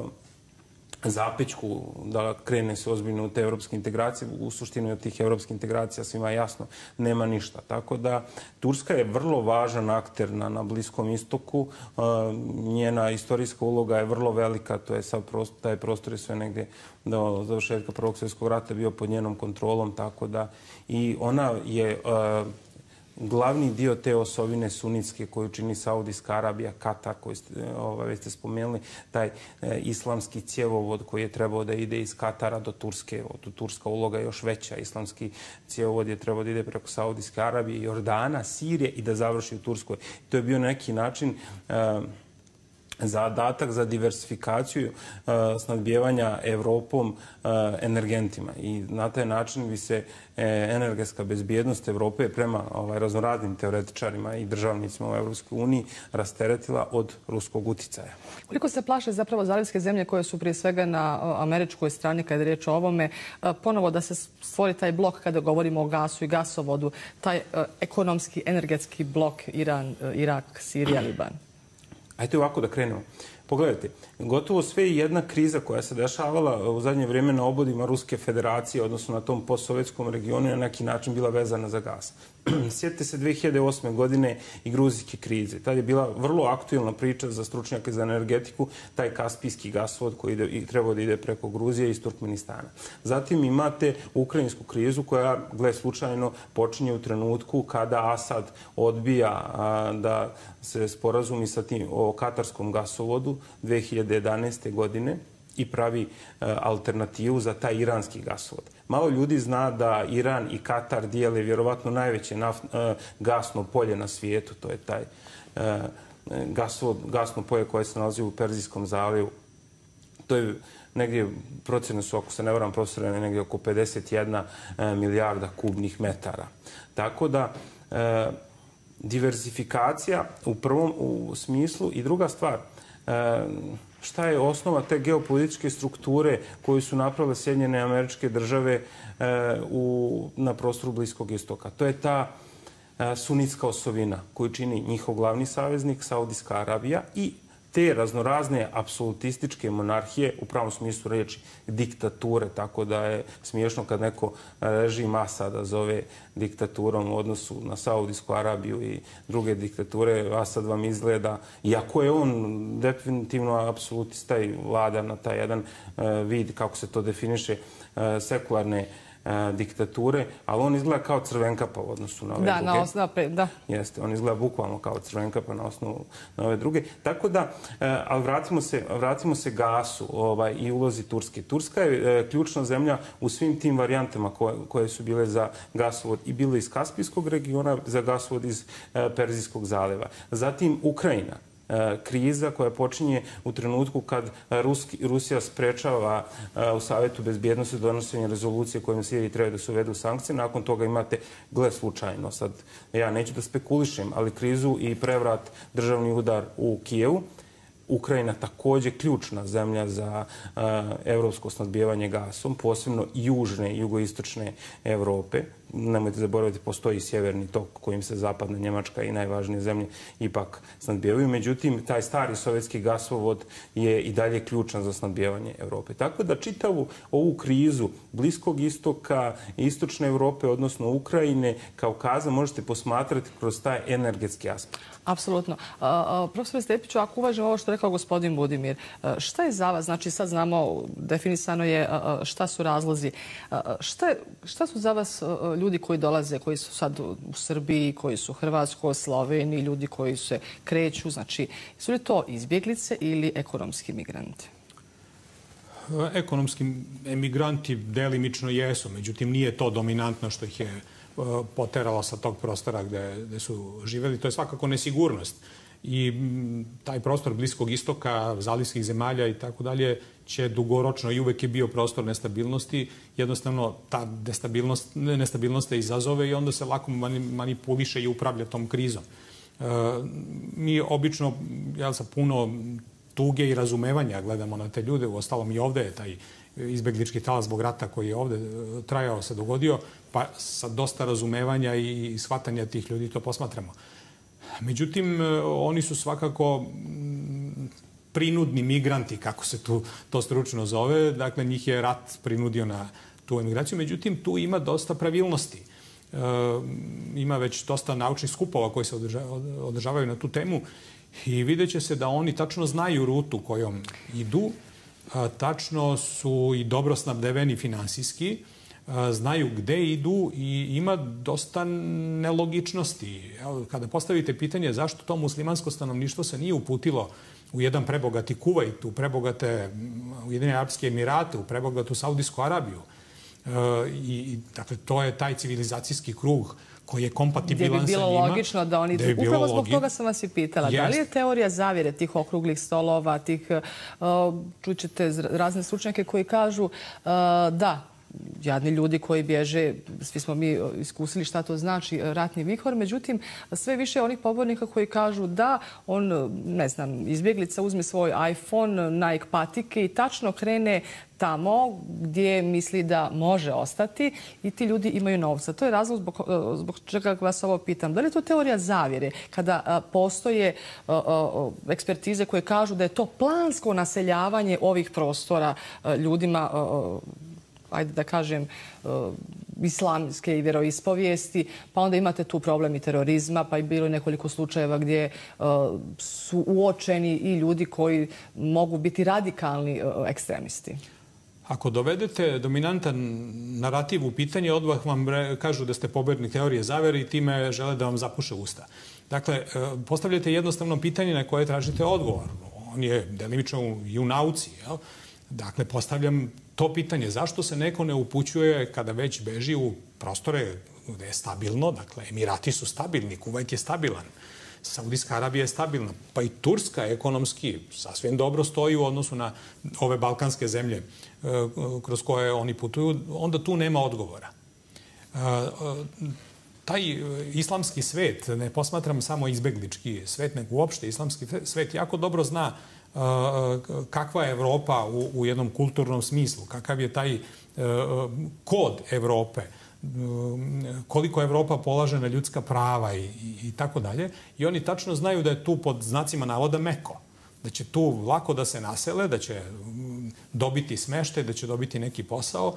I e, još jednu stvar jako dobro znaju, a to je da je Evropa demografski regresivna. Da joj još uvek treba radne snage i E, jednostavno ti e, krajevi koji su koji demografski su jaki, to je Sever Afrike, to je Bliski istok, to je Centralna Azija po broju stanovnika, ali u ovom momentu veoma značajna. E, veoma je značajno da jedna pravoslavna zemlja, tradicionalna, tradicionalni ruski prijatelj i obrnuto uđe u, u, u NATO i da bude jedna, kao simbol u stvari u ovom jednom momentu. I time NATO ne bi dobio mnogo u tom geostrateškom smislu, svakako. Jel? E, mada Crna Gora nije geostrateški nebitna, ona je blizu Ormuskog tesnaca, tu izlazi na e, Ormuskog, pardon, Otranskih vrata, e, izlazi na Jadransko more, ima dosta povoljnih mesta za, za vojne baze i tako dalje, ali je u tom simboličkom smislu njena važnost trenutna. Dakle, ona nije nešto dugoročno važno, ali u ovom momentu da se pokaže kako je to jedna pravoslavna zemlja, jedan tradicionalni ruski prijatelj, prelazi na stranu NATO i euroatlantizma. A, imaju li oni alternativu? Ima li Crna Gora alternativu ili ona mora u NATO? A to je veliko pitanje ne samo Crne Gore, nego Evo, govorimo konkretno o njima jer je zaista evo vrlo turbulentno. Pitanje je da li su njihove odluke, pa i odluke Srbije, htenje ili moranje. Ma to vas pitam. Pa moranje. Vi? Pa ja isto tako mislim. Mene stalno zaokuplja ta misao šta može mala zemlja kad se nađe kao slamka među vihorove. Mislim da je u toj rečenici sve rečeno. E, ne može mnogo. E sad, e, ne znam e, da li je za 30 godina rukovodđenja Crnom Gorom njen predsjednik mogao drugačije da li da se pre deset godina ili manje ipak drugačije orijentisao, možda ne bi došao danas u ovu situaciju, možda niko ne bi shvatio da tih 500.000 ljudi nešto naročito znači i da baš njih treba suprotstaviti Rusiji. Jer to na prvi pogled deluje smešno. To je jedna opština u Moskvi, mislim. To je toliko smešno da, da čovjek ne zna kako to da nazove. Ali očigledno je bilo i to potrebno. Tež, mislim da je za Crnu Goru teška situacija jer crnogorski narod je podeljen maltene na pola. Koliko su oni zapravo sad e, e, polarizovani i zapravo e, da li se može desiti, da li može doći do eskalacije nemira? I mislim da su oni veoma polarizovani i 10.000 ljudi, ako je tačan podatak koji mediji navode, je jako mnogo za Crnu Goru. Mm, to je nešto kao 100.000 u Beogradu, recimo, a kad se 100.000 ljudi pojave na ulicama Beograda, to baš nije naivno. Tako da, ne znam, mislim da je crnogorski režim napravio katastrofalnu grešku kad je počeo da tuče tuče ljude na, na ulici, jer u svim zemljama, mi sad već imamo neko iskustvo sa tim takozvanim obojenim revolucijama, sve je bilo dobro dok nije vlast uzela motku. Ajde da Od tog kažemo, momenta da. izaziva revolt i onda se dešava Palicu i onda ruke. počinje nekontrolisano ponašanje ekstremista s jedne, s druge strane. Ne znam zaista kako će se ovo završiti, ali nije naivno. Mi svi vjerujemo da će se to završiti, svi se nadamo, je li tako? Imali smo i u Makedoniji ono, incidente Kumanovo. E, Gospodine Budimir, šta vi mislite, može li doći do neke ozbiljne eskalacije s obzirom da u subotu, ajde da kažemo, da ljudi koji demonstriraju su tražili da se uspostavi prelazna vlada? Pa ja mislim do eskalacije pravom smislu riječi nasilne ne bi trebalo doći s obzirom Već sam spomenuo, nijedna od zemalja, spomenuli ste Makedoniju, ovdje nema suverenost, da se ne lažemo. Ovaj, tako da razni centri moći utiču na sve to. Međutim, ja bi se samo osvrnuo, vezano naravno za Crnu Goru i to dešavanje, uh, uticaj Rusije na ovom prostoru. Pazite, čitav ovaj prostor, ja ću ga nazvati srpski etnički prostor ili srpske zemlje, se nalazi sada iza Limesa, nalazi se iza granice. Ključna godina za Balkan kad je pitanju ruski utjecaj 2004. godina, odnosno ulazak Rumunije i Bugarske u NATO pakt. Te zemlje su ugurane tako brzo u euroatlantske integracije, u NATO pakt i, i u E, Evropsku uniju, iako nisu ispunjavali nijedan i ove ozbiljan standard za sve to iz čisto strateški razloga. Sad tim je bukvalno ovaj centralni dio Balkana odvojen, kopreno odvojen od tog euroazijskog jezgra kojim dominira Rusija kao izrazito koprena sila. Tu je s ruske strane bilo dosta spavanja u strateškom smislu, ovaj, dosta podrazumijevanja, posebno kad su Slaveni u pitanju, kod njih je vrlo raširen stav. To Šta su to podrazumijevali? Što biste im to zamjerili, ajde da kažem, na njihovoj neinventivnosti, makar ne u tolikoj mjeri u kojoj ste vi očekivali? Djelovanje, razumijete, djelovanje. Najbolji vam je primjer kako Zapad djeluje na ovim prostorima. Naravno, ovaj, često puta kad to Rusima spočitate, oni vam kažu pa mi ne štampamo dolare. Da, ali ne štampate dolare, evo i gospođa Miličić spomenu, evo, ruski kapital je bio i tekako prisutan u Crnoj Gori. Svi smo pričali o tim ruskim hotelima, čudesima, Rusima koji kupuju kompletnu obalu i sve ostalo. Međutim, ako hoćete da imate pravi uticaj u nekoj zemlji, tu postoje tehnologije a ta tehnologija, znači morate imati nekoga koga podržava, tako otvoreno podržavate. Pa pogledajte Srbiju. U Bosni i Hercegovini neću ni da govorim, mi smo država ovaj, koja nema ni sve od suvereniteta, ali pogledajte šta rade ambasadori. Pa ambasador vam određuje politiku. Ambasador se s predsjedničkim kandidatom konsultuje dan pred eh, drugi krug izbora ili nešto tako. Ambasador Britanije, SAD-a i sve ostalo. I sve je to u međunarodnim odnosima, zapamtite, nema fair igre. Apsolutno. Kada govorite o toj neinventivnosti i tom podržavanju da je Rusija mogla da izabere... Nisam rekao neinventivnost. Ajde da kažem nedovoljnom angažmanu ili ovaj, uspavanosti ste rekli. Ovaj, jeste, Rusija se susrela posle završetka hladnog rata sa mnogo svojih problema i tu treba biti potpuno svjestan. Evo sad smo pričali o Asadu. Vi ste postali pitanje gostima da li Asad recimo može da izdrži. Ovaj, Asad je puno iskrvario. Faktor vremena je vrlo interesantan kad je u pitanju sirijska kriza. 2014. Asad je bio u naletu, posle toga imate otvaranje ovaj, odnosno e, zonu zabrane letova, posle toga njegovo povlačenje, ali istovremeno ste imali kriz, rusku krizu koja je otvorena na, u predgrađima Moskve. Znate, Ukrajina ovaj, vam je strateško i najvažnije geostrateško pitanje Rusije od završetka hladog rata. Taj konflikt je samo zamrznut. On nije, nije ni blizu, ni blizu rješen. I znate šta ću vam sad reći? Rusija je vrlo profesionalno ušla u ovu intervenciju u Siriji sve mo, e, i pokazuje se da su njene snage sposobne da vode sofisticiran rat, da upotrebljavaju ovaj, najnovije taktike kad je u pitanju vazduhoplovstva i sve sadejstvo i ostalo. Međutim, ove snage su jako male. Radi se o 32 aviona i 12-13 helikoptera. To vam je jedan vazduhoplovni puk koji vrlo, vrlo uspješno djeluje. E, uzmite da samo jedan nosač američki klase Nimitz, šeste flote koji se nalazi u Mediteranu, nosi 90 vazduhoplova, ratnog vazduhoplovstva. Šta vam govorim? Hoću vam reći da je moć Amerike još uvijek jako prisutna i u Mediteranu, i na Bliskom istoku i sve ostalo. I Rusija mora sad spremno i budno da čeka, jer vrlo vjerovatno da možete u Pridnjestrovlju očekivati nešto, na Kavkazu da možete očekivati nešto i sve ostalo. I to je ta drugi, drugi cilj, ovaj, e, sekundarni cilj borba protiv islamskog terorizma, jer je definitivno bolje da se borite na Bliskom istoku protiv islamista sa Kavkaza, nego da se borite po Čečeni ili Ingušetini. Ili negdje drugo, moramo na reklame, pa ćemo se vratiti ruskom angažmanu i njihovom uticaju. Uh, Profesor Stepiću, evo pričali smo prije reklama o uh, ruskom angažmanu na ovim prostorima, znači Sirija, ali se sve pomjeraju, uh, situacija je nekako došla, eskalirala i u zemljama bivše Jugoslavije, nije ona eskalirala, ali postoji mogućnost e, e, do, da dođe do turbulencija.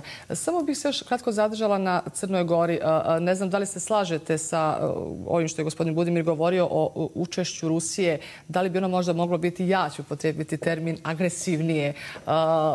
Evo da uporedim sa dejstvom SAD-a, odnosno prizivanjem zemalja da uđu u NATO. Kažu sad da zadnja parlamentarna skupština do kraja godine će pozvati Crnu Goru da ona uđe, ali očekuju i Bosnu i Hercegovinu. E sad samo molim da e, uporedite tu, da kažem, e, snagu, odnosno način borbe e, Rusije i SAD-a na ovim prostorima. Znači, ako uzmemo američku agresivnost, uslovno rečeno, i rusku, ajde da kažem, malo blažu aktivnost. Mi svi očekujemo neku ravnotežu, jer e, smo i dalje u nekom e, neotitoističkom e, smislu, u nekoj neotitoističkoj koordinatama nekim, da vodimo neku ravnoteženu i nesvrstanu politiku. Dakle, čak se time i hvalimo. To ja mislim da im u ovim Kad kažete hvalimo, na koga mislite? Koji to mi? Pa mislimo na naše političare koji kažu da Vode, vode uravnoteženu politiku, jel, mada je to daleko od uravnotežene, oni to više retorički ovako, ali i su više očekujemo od Rusije. E, ta zemlja je krajem e, 20. Veka bila na kolenima. To je možda blaga reč. E, kriva krivulja jel, ekonomskog rasta, odnosno pada, e, Rusije je 98. godine bila na dnu. E, krajem 98.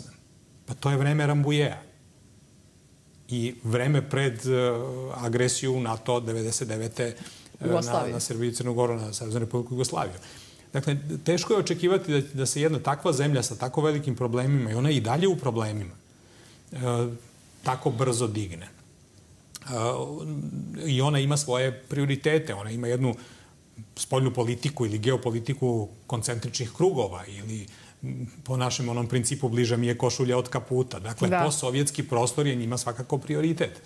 E, u tom nekom trećem krugu, krugu bi bio Balkan. E, dakle, i, na neki, tako dalje. Oni jednostavno demografski kipe prema prostoru gde je demografska regresija. A to je Evropa. A to je Evropa. U ostalom, naučnici su o tome govorili. Postoji teorija jednog nemačkog naučnika iz Bremena, e, zove se teorija prekobrojnih, prekobrojnih sinova.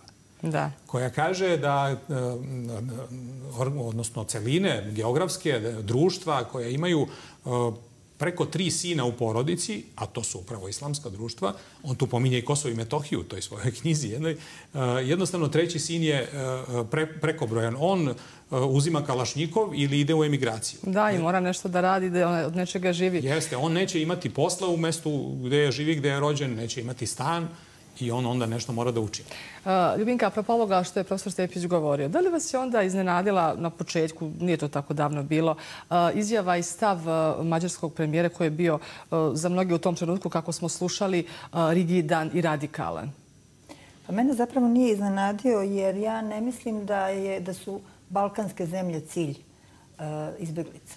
Cilj je Evropa a Evropa pokušava da se zaštiti, bez obzira na proklamovanu demokratiju, ljudska prava i ne znam šta sve još, Evropa pokušava na sve načine da se zaštiti. Da li neko može da veruje da se zidovi podižu bez znanja, na primjer, Nemačke? E, mi smo, e, čitajući strano štampu, nailazili na nemačke tekstove u kojima se kaže da na, granicama, na granici Mađarska-Srbija e, postoje nemački cari, graničari i nemački vojnici. E, ne znam, u jednom trenutku ih je bilo 70 recimo ili 50. E, onda zidovi, te ne znam, Hrvatska, te ovde, onda zidovi se podižu uz blagonaklono posmatranje i blagu kritiku Evrope. I ja sam sasvim sigurna da e, cilj je Nemačka, e, možda i samo zato kako smo sad čuli, što, je, što su to ljudi koji ne mogu da nađu sebi mesto u svojim državama. Ali postoji i, neki, i jedan drugi aspekt koji će zaista ljudi nazvati teorijom zavere. Međutim, mi se nalazimo u jednom trenutku kada se svet menja. Evropa, jaka Evropa, očigledno ne odgovara nekome. Do, do, do ove krize smo imali makar teoretsku mogućnost nekakve koalicije ili bar dobre saradnje Nemačka, Rusija, Francuska. Danas je ta, ta mogućnost veoma smanjena i to apsolutno odgovara nekome. Tako da... Upravo to vas pitam, kakve mogu biti implikacije na ovo područje? Svima nam je jasno da se oni neće zadržati u Bosni i Hercegovini jer to nije ekonomski razvijena zemlja pa ni u Srbiji pa na ovom prostoru. Međutim, imamo zatvaranje granica, gušenje fluktuacije ljudi, oni su sad ovdje. Možemo li biti, ajde da kažem, mirni s tog ekonomskog aspekta da će izbjeglice, emigranti proći preko ovog područja ili će se ipak jedan dio za zaustaviti na ovom području e, Balkana, koje je inače samo po sebi siromašno. Bez obzira na nečiju volju, e, humanost, da nekoga prihvatiš zato što je došao iz ratnog područja. Pa ja sam uverena da ne možemo biti mirni i zaista e, tužno je i strašno je gledati izbjeglice, gledati tu malu decu koju, koju roditelji nose ili, ili se žena porodila, čujem prije neki dan, u, negde na putu, negde u Srbiji, To, je, to su sve strašne slike. Strašne su životne strane, priče. I naravno da treba ljudima pomoći. S druge strane, Srbija je zemlja u kojoj vlada nezaposlenost, u kojoj su male plate, u kojoj nema, mnogo toga nema. Tako da, a to, to, to malo što se ima, ako se još podijeli, mnogo će više nedostajati. Ja očekujem da će, mada se i sad tako nešto dešava, Turcima su ponudili 3 milijarde, nama ne znam koliko miliona, Vjerovatno će se tu naći još koji dinar, ali to ne može da nadoknadi sve ono što je potrebno toj količini izbeglica koje će, zahvaljujući tome što su zidovi postavljeni, zbog toga što je zima pa se ne mogu tako kretati lako kao leti, ja sam sasvim sigurna da će ih mnogo ostati na Balkanu. E, gospodin Budibir, kakva je to demokratija, humanost, e, kakve su to upute iz Amerike gospodina Kerija e, na senzibilitet e, prema e, izbjeglicama kao da sve ostale zemlje na svijetu same po sebi nemaju taj senzibilitet. Ako znamo da je u Ameriku azil dobilo od početka rata u Siriji hiljadu i po izbjeglica. Pa znate kako, to mi je istorija SAD-a. SAD su jedna velika sila koja uživa u komforu zaštite dva okeana. Naprosto, vi vidite sad da ako hoćete da dođete u Evropu, imate dve mogućnosti da se krećete ova, nekim plovilima preko Mediterana, sad zimi je to gotovo nemoguće, ili idete to koprenom rutom. Ta prva ozbiljna akcija koja pokušava da rješava problem u uzroku Evropske unije jeste e, pravljanje te neke koalicije i zajedničke pomorske akcije kojim se sprečala ta trgovina e, ljudi i prebacivanje tih ljudi plovilima na, na obale e, južne obale Evrope. E, kad je u pitanju SAD, SAD naprosto imaju tu komotnu poziciju u odnosu na Evropsku uniju, posebno na ove male zemlje poput Srbije.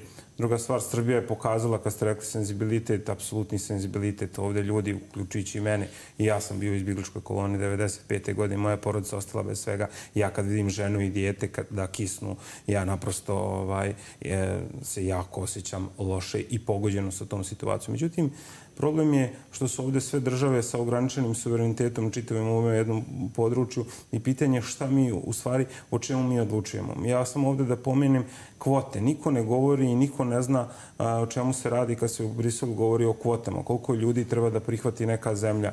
Ta, ta je politika, odnosno ta strategija kvota je bila propala. Koliko će, ovaj, e, kolika će kvotu da dobije Srbija da primi tih ljudi? Ja stvarno ne znam. Ali koliko god da primi, Srbija sa svim ovim problemima s kojima se susreće, ovaj, to će biti previše. Druga stvar, nemojte zaboraviti bezbedonosni aspekt svih tih ljudi koji dolaze. Da, to oni, smo rekli sada oni dolaze, da je... Oni dolaze sa područja ratišta, ovaj, gdje je taj transnacionalni terorizam i, i, i islamski radikalizam jako prisutan. Naše obaveštajne strukture gotovo da nemaju nikakav kapacitet da to isprate. To, ni, to nisu malo obveštene strukture, ni turske, pa zbog toga u Turskoj imate sada u Istanbulu ovaj, onakve situacije. Nemoguće, ovaj, Grci su u jednom trenutku samo digli ru, ruke kad je taj priliv bio ovaj, prevelik. A, profesor Stepiću, upravo ta jedna komotna pozicija Sjedinja američkih država, da li je imalo, probudila svijest e, Njemačke, Francuske, Britanije, a, E, kao da, kao, kao da nije baš uh, uh, očekivano, kao da Amerika ili, ili Evropa, govorimo o ove tri zemlje, nisu baš očekivali uh, uh, ovakav udar, jer je ovo pravi udar jer oni još danas nisu našli neku strategiju. Da li je uh, sad njihov uh, stav prema Americi, oni će uvijek biti, ajde da kažem, blagonakloni i okrenuti tradicionalno Americi, da li je promijenjen uh, stav prema Rusiji koja je bila svjesna uh, terorizma uh, i nedaća zbog bivših uh, sovjetskih zemalja gdje se oni susreću sa tim problemom? Znači, da li, je, da li su tri evropske zemlje, Njemačka, Francuska i Britanija, svjesne zapravo da negdje je došlo do, do problema u, u američkom uh, proračunu uh, kada je riječ o uh, ratu u Siriji, o borbi za gas i izbjeglicama koje su tu. Jer je Angela Merkel već na neki način uh, poručila Amerikancima dajte, prihvatite uh, ovih ljudi i rasteretite, ajde da kažem, evropski prostor. Tu bi trebalo razdvojiti te tri zemlje. Dakle, jedan je odnos koji ima Nemačka sa Rusijom i obrnuto, potpuno drugi uh, Francuska, a Velika Britanija je potpuno nešto treće. Velika Britanija je potpuno privržena. Potpuno su privrženi s američkim državama, hteli, ne hteli. E, sama Evropska unija, mi ovdje neče govorimo o Evropi, ja bih govorio o Evropskoj uniji. To je različito od Evrope, dakle i Rusija je Evropa. E, dakle, Evropska unija je čedo hladnog rata. Evropska unija je kreacija Sjedinjenih američkih država posle drugog svjetskog rata. Prvo kao Evropska zajednica za ugalj i čelik, pa je kasnije menjala te, ta imena do Evropske unije. Evropska unija je u stvari ekonomsko-političko krilo transatlantizma. Ako je NATO vojno krilo, Evropska unija nije ništa drugo. Ako se, ako se pogleda suština, ako se razgrne ta magla e, retorička, često ćete čuti i evropske funkcionere koji kažu, recimo, nekadašnji funkcioner Herman Van Rompuy je rekao mi smo na istom brodu, svi američke države da. i Evropska unija. Dakle, Evropska unija, pomenuje kolega Budimir, e, i sama Evropska unija kao celina ima ograničen suverenitet. Ona ne može da povuče poteze koji su suvereni. Ona ne može da povuče potez da se potpuno orijentiše na, na ruski gas. Ono što bi bio evropski interes. Ja? Ona mora da sluša sve američke države. Ona mora da uvede sankcije Rusiji, iako najradije ne bi, pogotovo u Nemačka. Koliko sad uh, uh, SAD, uh, e, NATO, uh, Uh, i, i konfuzija koja je nastala o izbjeglicama kao da ih nisu očekivali u ovom broju, zapravo je uzdrmala i naše prostore. Uh, uh, evo i dan danas govorimo o Crnoj Gori. Nije se baš očekivalo da će u Crnoj Gori na očigled svih, ajde da kažemo, protesti, opozicije, prirasti ovako nešto što je prilično ozbiljno, pa se oglasio i Brisel, i Washington i Rusija. Rusija je prilike rekla, svi pozivaju na mir, naravno i suzdržano, ostali da nije sreća zašto SAD i zapadni partneri tako silno privlači i e, sugerišu Crnoj Gori da uđe u NATO. Crna Gora je mala e, zemlja teritorijalno i način treba pomoći. E, ona ima druge načine na koje može ovde da vrši upliv. Ja mislim da su to mediji. Da. To je ta neka moć koja tek počinje polako vidite, strah na zapadu, jednu paniku od, od ruskih medija koji su preuzeli metode CNN-a, BBC-a i tako dalje, s tim što to sada na neki način i bolje rade nego uzori. I, i, ali to još uvek ide jako sporo, jer pozicije koje je Rusija imala pa izgubila, vrlo teško se vraćaju, jer neće niko da ih pusti da rade slobodno. Jako me zanimaju ti vaši krugovi koji ste rekli, odnosno prioriteti Rusije, a u kontekstu izjave uh, predsjednika Srpske akademije nauke i umjetnosti u Srbiji, gospodina Vladimira Kostića, uh, gdje je, u kom je krugu Srbija Rusiji, jer je on izazvao veliku buru svojom izjavom, rekavši da je otprilike odnos e, Srbije i Rusije e, vještačka nekakva tvorevina. E, naravno, pomenuto je i Kosovo, gdje, parafraziraću, naravno, gospodin Kostić rekao da je već vrijeme da se kaže narodu da Kosovo ne pripada Srbiji. I e, uh, pomenuje i Republiku Srpsku u tom kontekstu i njen značaj u smislu da e, treba obratiti pažnju na Republiku Srpsku i na ljude koji žive ovdje. Često se Republika Srpska pominje u smislu kompenzacije za navodni gubitak Kosova i Metohije. Nekada se govorilo u tom smislu uh, Kosovo za Republiku Srpsku krajinu, model K za K. To su lansirali Fehmi Agani i uh, Ibrahim Rugova. Međutim, mislim da je to jedna zamka u koju upadamo. Republika Srpska je gotova stvar, to je naše. Mi hoćemo da menjamo naše za naše. U smislu naše Kosovo i Metohiju za našu Republiku Srpsku. Dakle, to je jedna varka. A um, komentar na izjavu predsjednika Srpske akademije nauka ćete dobiti od mene, ali nećete dobiti od akademika. E, valjda se nečega plaše. E, njega pozicija predsjednika Akademije nauka, Srpske akademije nauka obavezuje. Ne može on da nastupi u svoje ime. Može da nastupi u, u smislu svoje profesije i da kaže neki sud profesionalni o oblasti kojom se bavi. E, ovo je sud koji je vrlo bitan za naše nacionalno pitanje i on tu nije iskazao sud Srpske akademije nauka, nego svoj. E, mislim da na to, na takav način nema pravo. Može o struci o kojoj, kojom se bavi.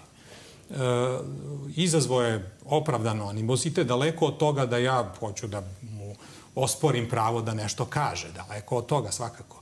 Ali e, nikada nećete čuti predsjednika Hrvatske akademije koji je svojevremeno mogao da kaže da je Republika Srpska krajina i de jure i de facto gotova stvar. To nikada niste mogli da čujete.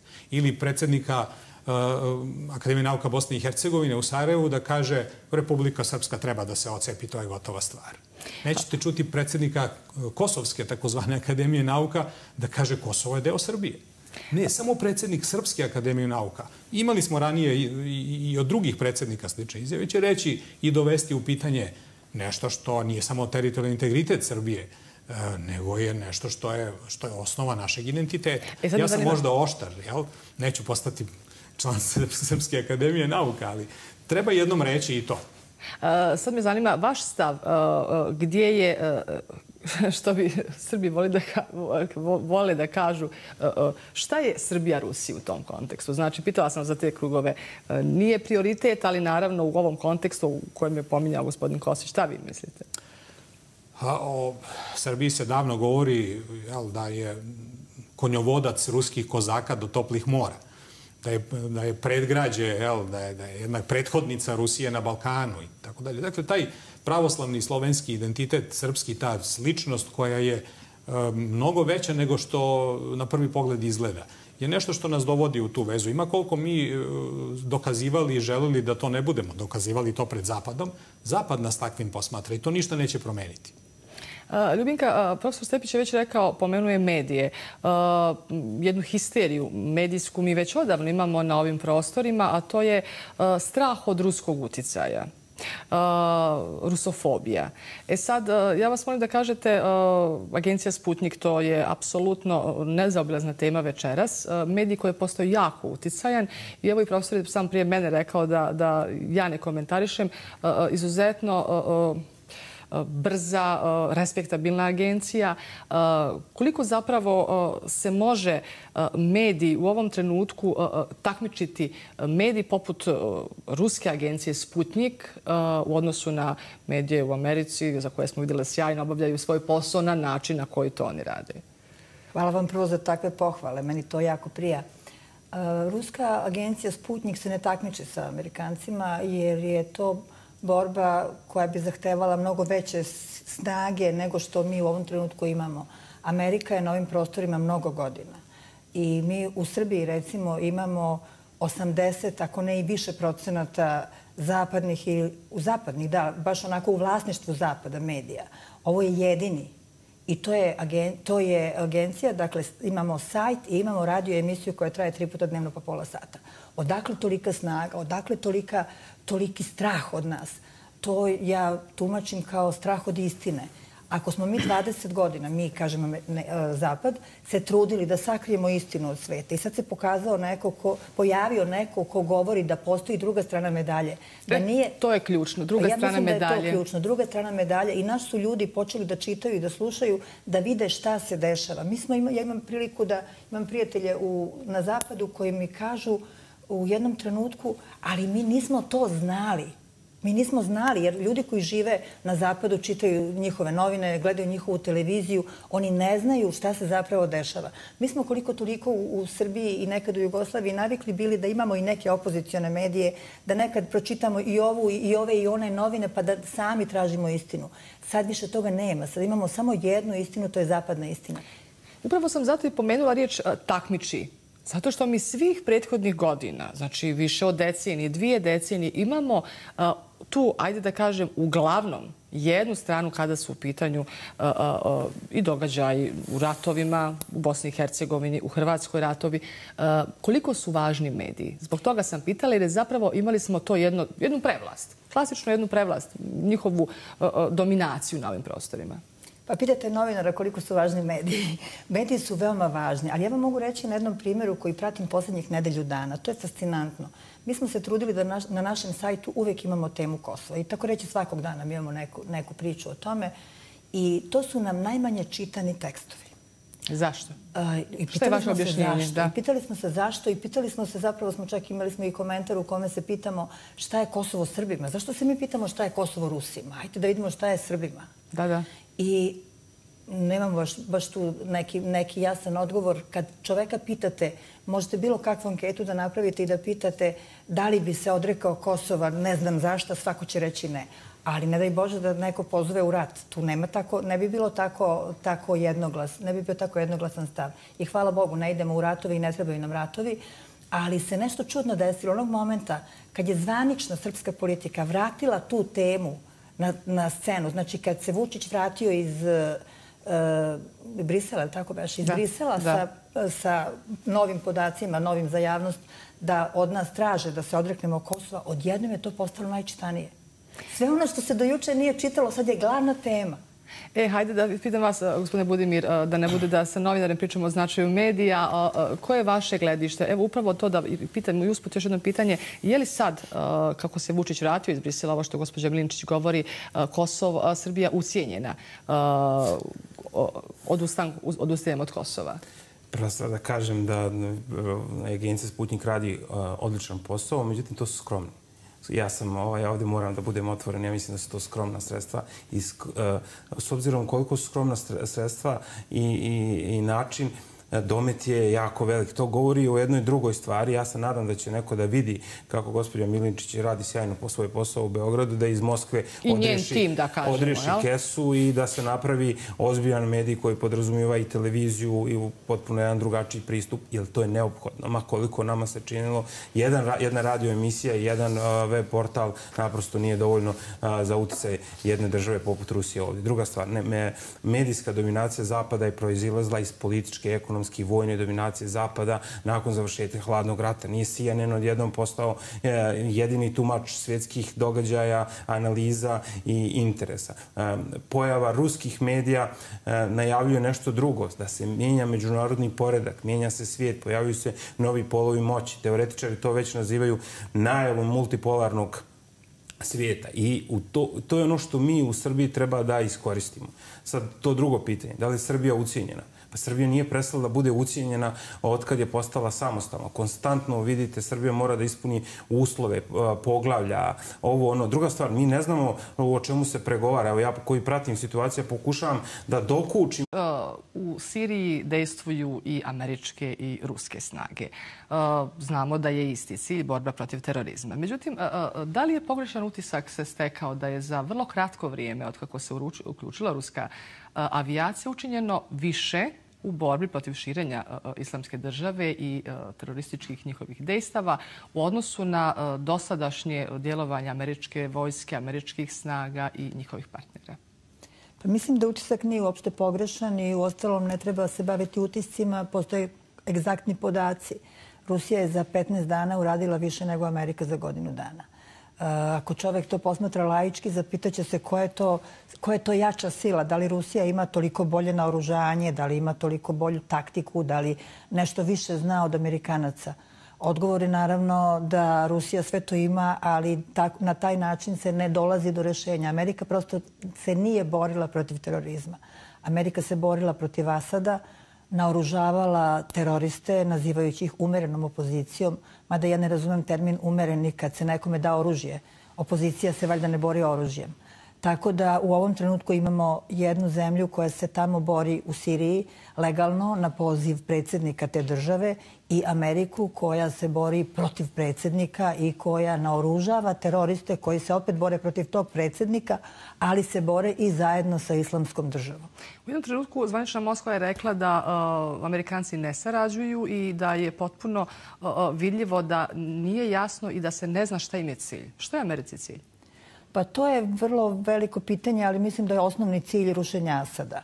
A iza tog osnovnog cilja se naravno kriju njihovi, eh, njihove, njihovi interesi i generalno onako opet nafta. To je, mislim, osnovni, osnovni cilj svih tih borbi na teritoriji e, Sirije i drugih zemalja koje su ratovale poslednjih godina je nafta.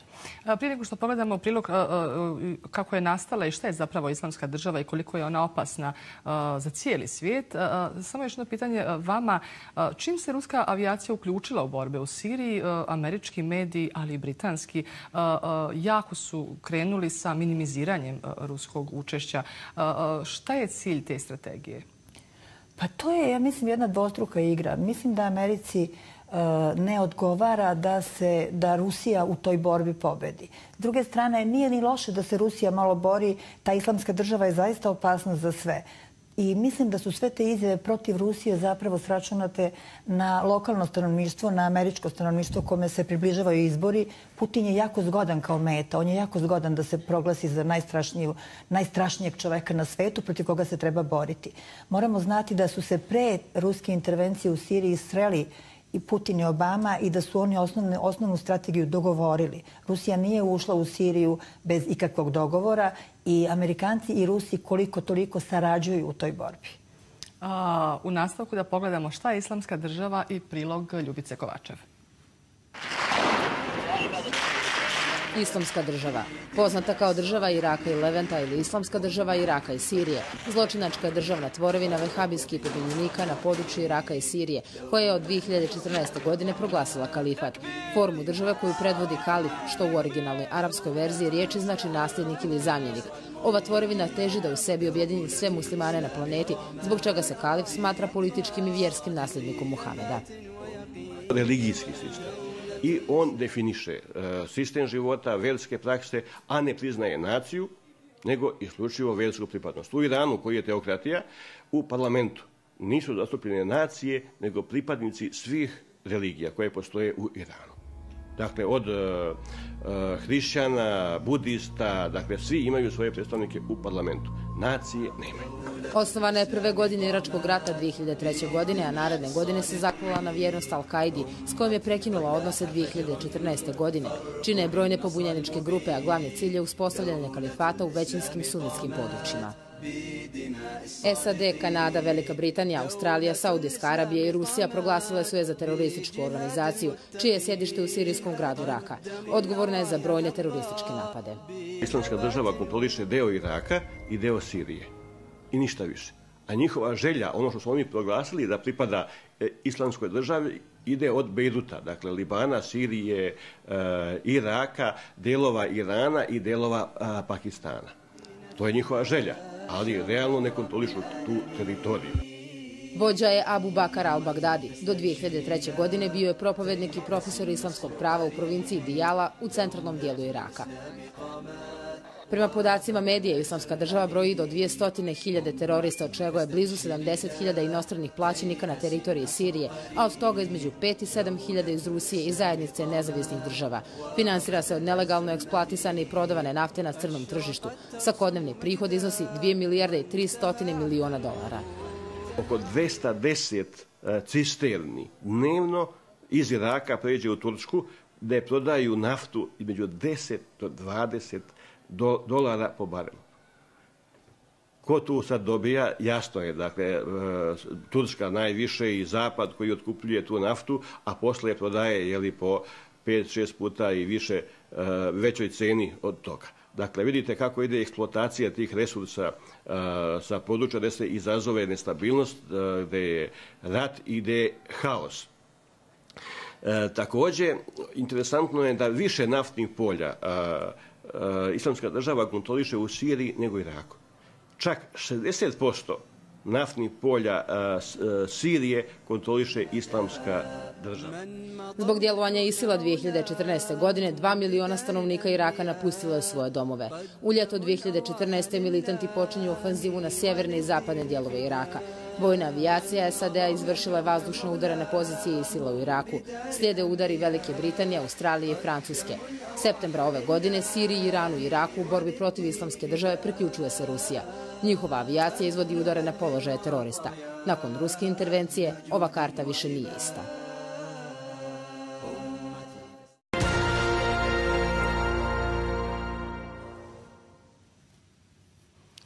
Profesor Stepiću, ne znam da li ste čuli zadnju rečenicu u prilogu koleginice Kovačeve. Kaže, posle intervencije Rusije ova karta više nije ista.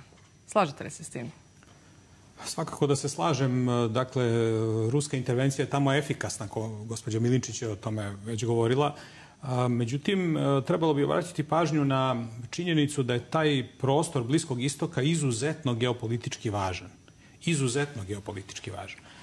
Dakle, jedan od očeva osnivača geopolitike kao nauke, Helford Mackinder, najbolji poznavalac njegovog dela među Srbima je svakako kolega Željko Budimir, ali on govori o tom prostoru kao o velikoj pukotini. Ta velika pukotina razdvaja u stvari Euroaziju i Afriku. Da se taj prostor geopolitički spoji u jednu geopolitičku celinu, to je onda najveće kopno na planeti kojoj, kojim bi dominirala velike kopnene sile to pomorske sile, nekada Velika Britanija, koja je, gle slučaja, dominirala tim prostorom u kolonijalnom smislu, a sada se i američke države, koje takođe tamo dominiraju, e, gube globalni primat. I, dakle, sem što je taj prostor središte velikih svetskih civilizacija i sem što je bogat naftom, e, mislim da je ovo ključni moment na koji bi trebalo obratiti pažnju. Dakle, u teoriji geopolitičke nauke neke poruke već imamo. A sa druge strane, e, neoevroazijska ruska koncepcija e, je sada u nekoj drugoj fazi svoga ostvarenja i jedan od e, osovina, jedna od osovina prijateljstva, kako to ruski geopolitički teoretičari nazivaju, je usmerena upravo prema Siriji. To postoji u knjigama. Dakle, i, i ti vektori postoje e, tu. Jedan je usmeren ka zapadnoj Evropi, jedan je usmeren ka Bliskom istoku. E, taj ka Bliskom istoku je upravo nacentriran na Siriju. Dakle, to je već sve nekako definisano i sada se sprovodi po tim nekim receptima. Osim što e, ovdje imamo dvije stvari, e, znači borbu protiv terorizma, e, imamo i borbu za gasovod. Sirija je centar i čvorište. Kažite mi, zašto su Rusi, da li će Rusi ući sa, šta mislite, sa kopnenim snagama ili će oni samo ostati sada na ovom, ili je to prema procjeni? Oni će dominantno ostati na vazdušnim udarima i ako budu slali neke kopnene snage, to će biti snage za, za neku podršku, neke snage koje obezbeđuju tamo aerodrome i tako dalje, sigurno ne nekom masovnom kopnenom intervencijom. Hoće li, uh, uh, može li Asad ostati na vlasti? Asad će svakako još neko vreme ostati na vlasti. Tamo je njegova armija jedina legalna i organizovana u pravom smislu reči armija. Međutim, ne bih bio siguran da jednoga dana i njegovo vreme neće proći eh, i da bude deo nekog šireg eh, dogovora, neke šire pogodbe. Za sada verujem da neće. A, da li će u tom slučaju, eh, kad bi došlo do toga da sad ode sa vlasti, da li će i Rusija i Sjedinje američke države, s obzirom da je to strateško područje za koje se bore dvije svjetske sile, dozvoliti Sirijicima da biraju svoju vlast? Opstanak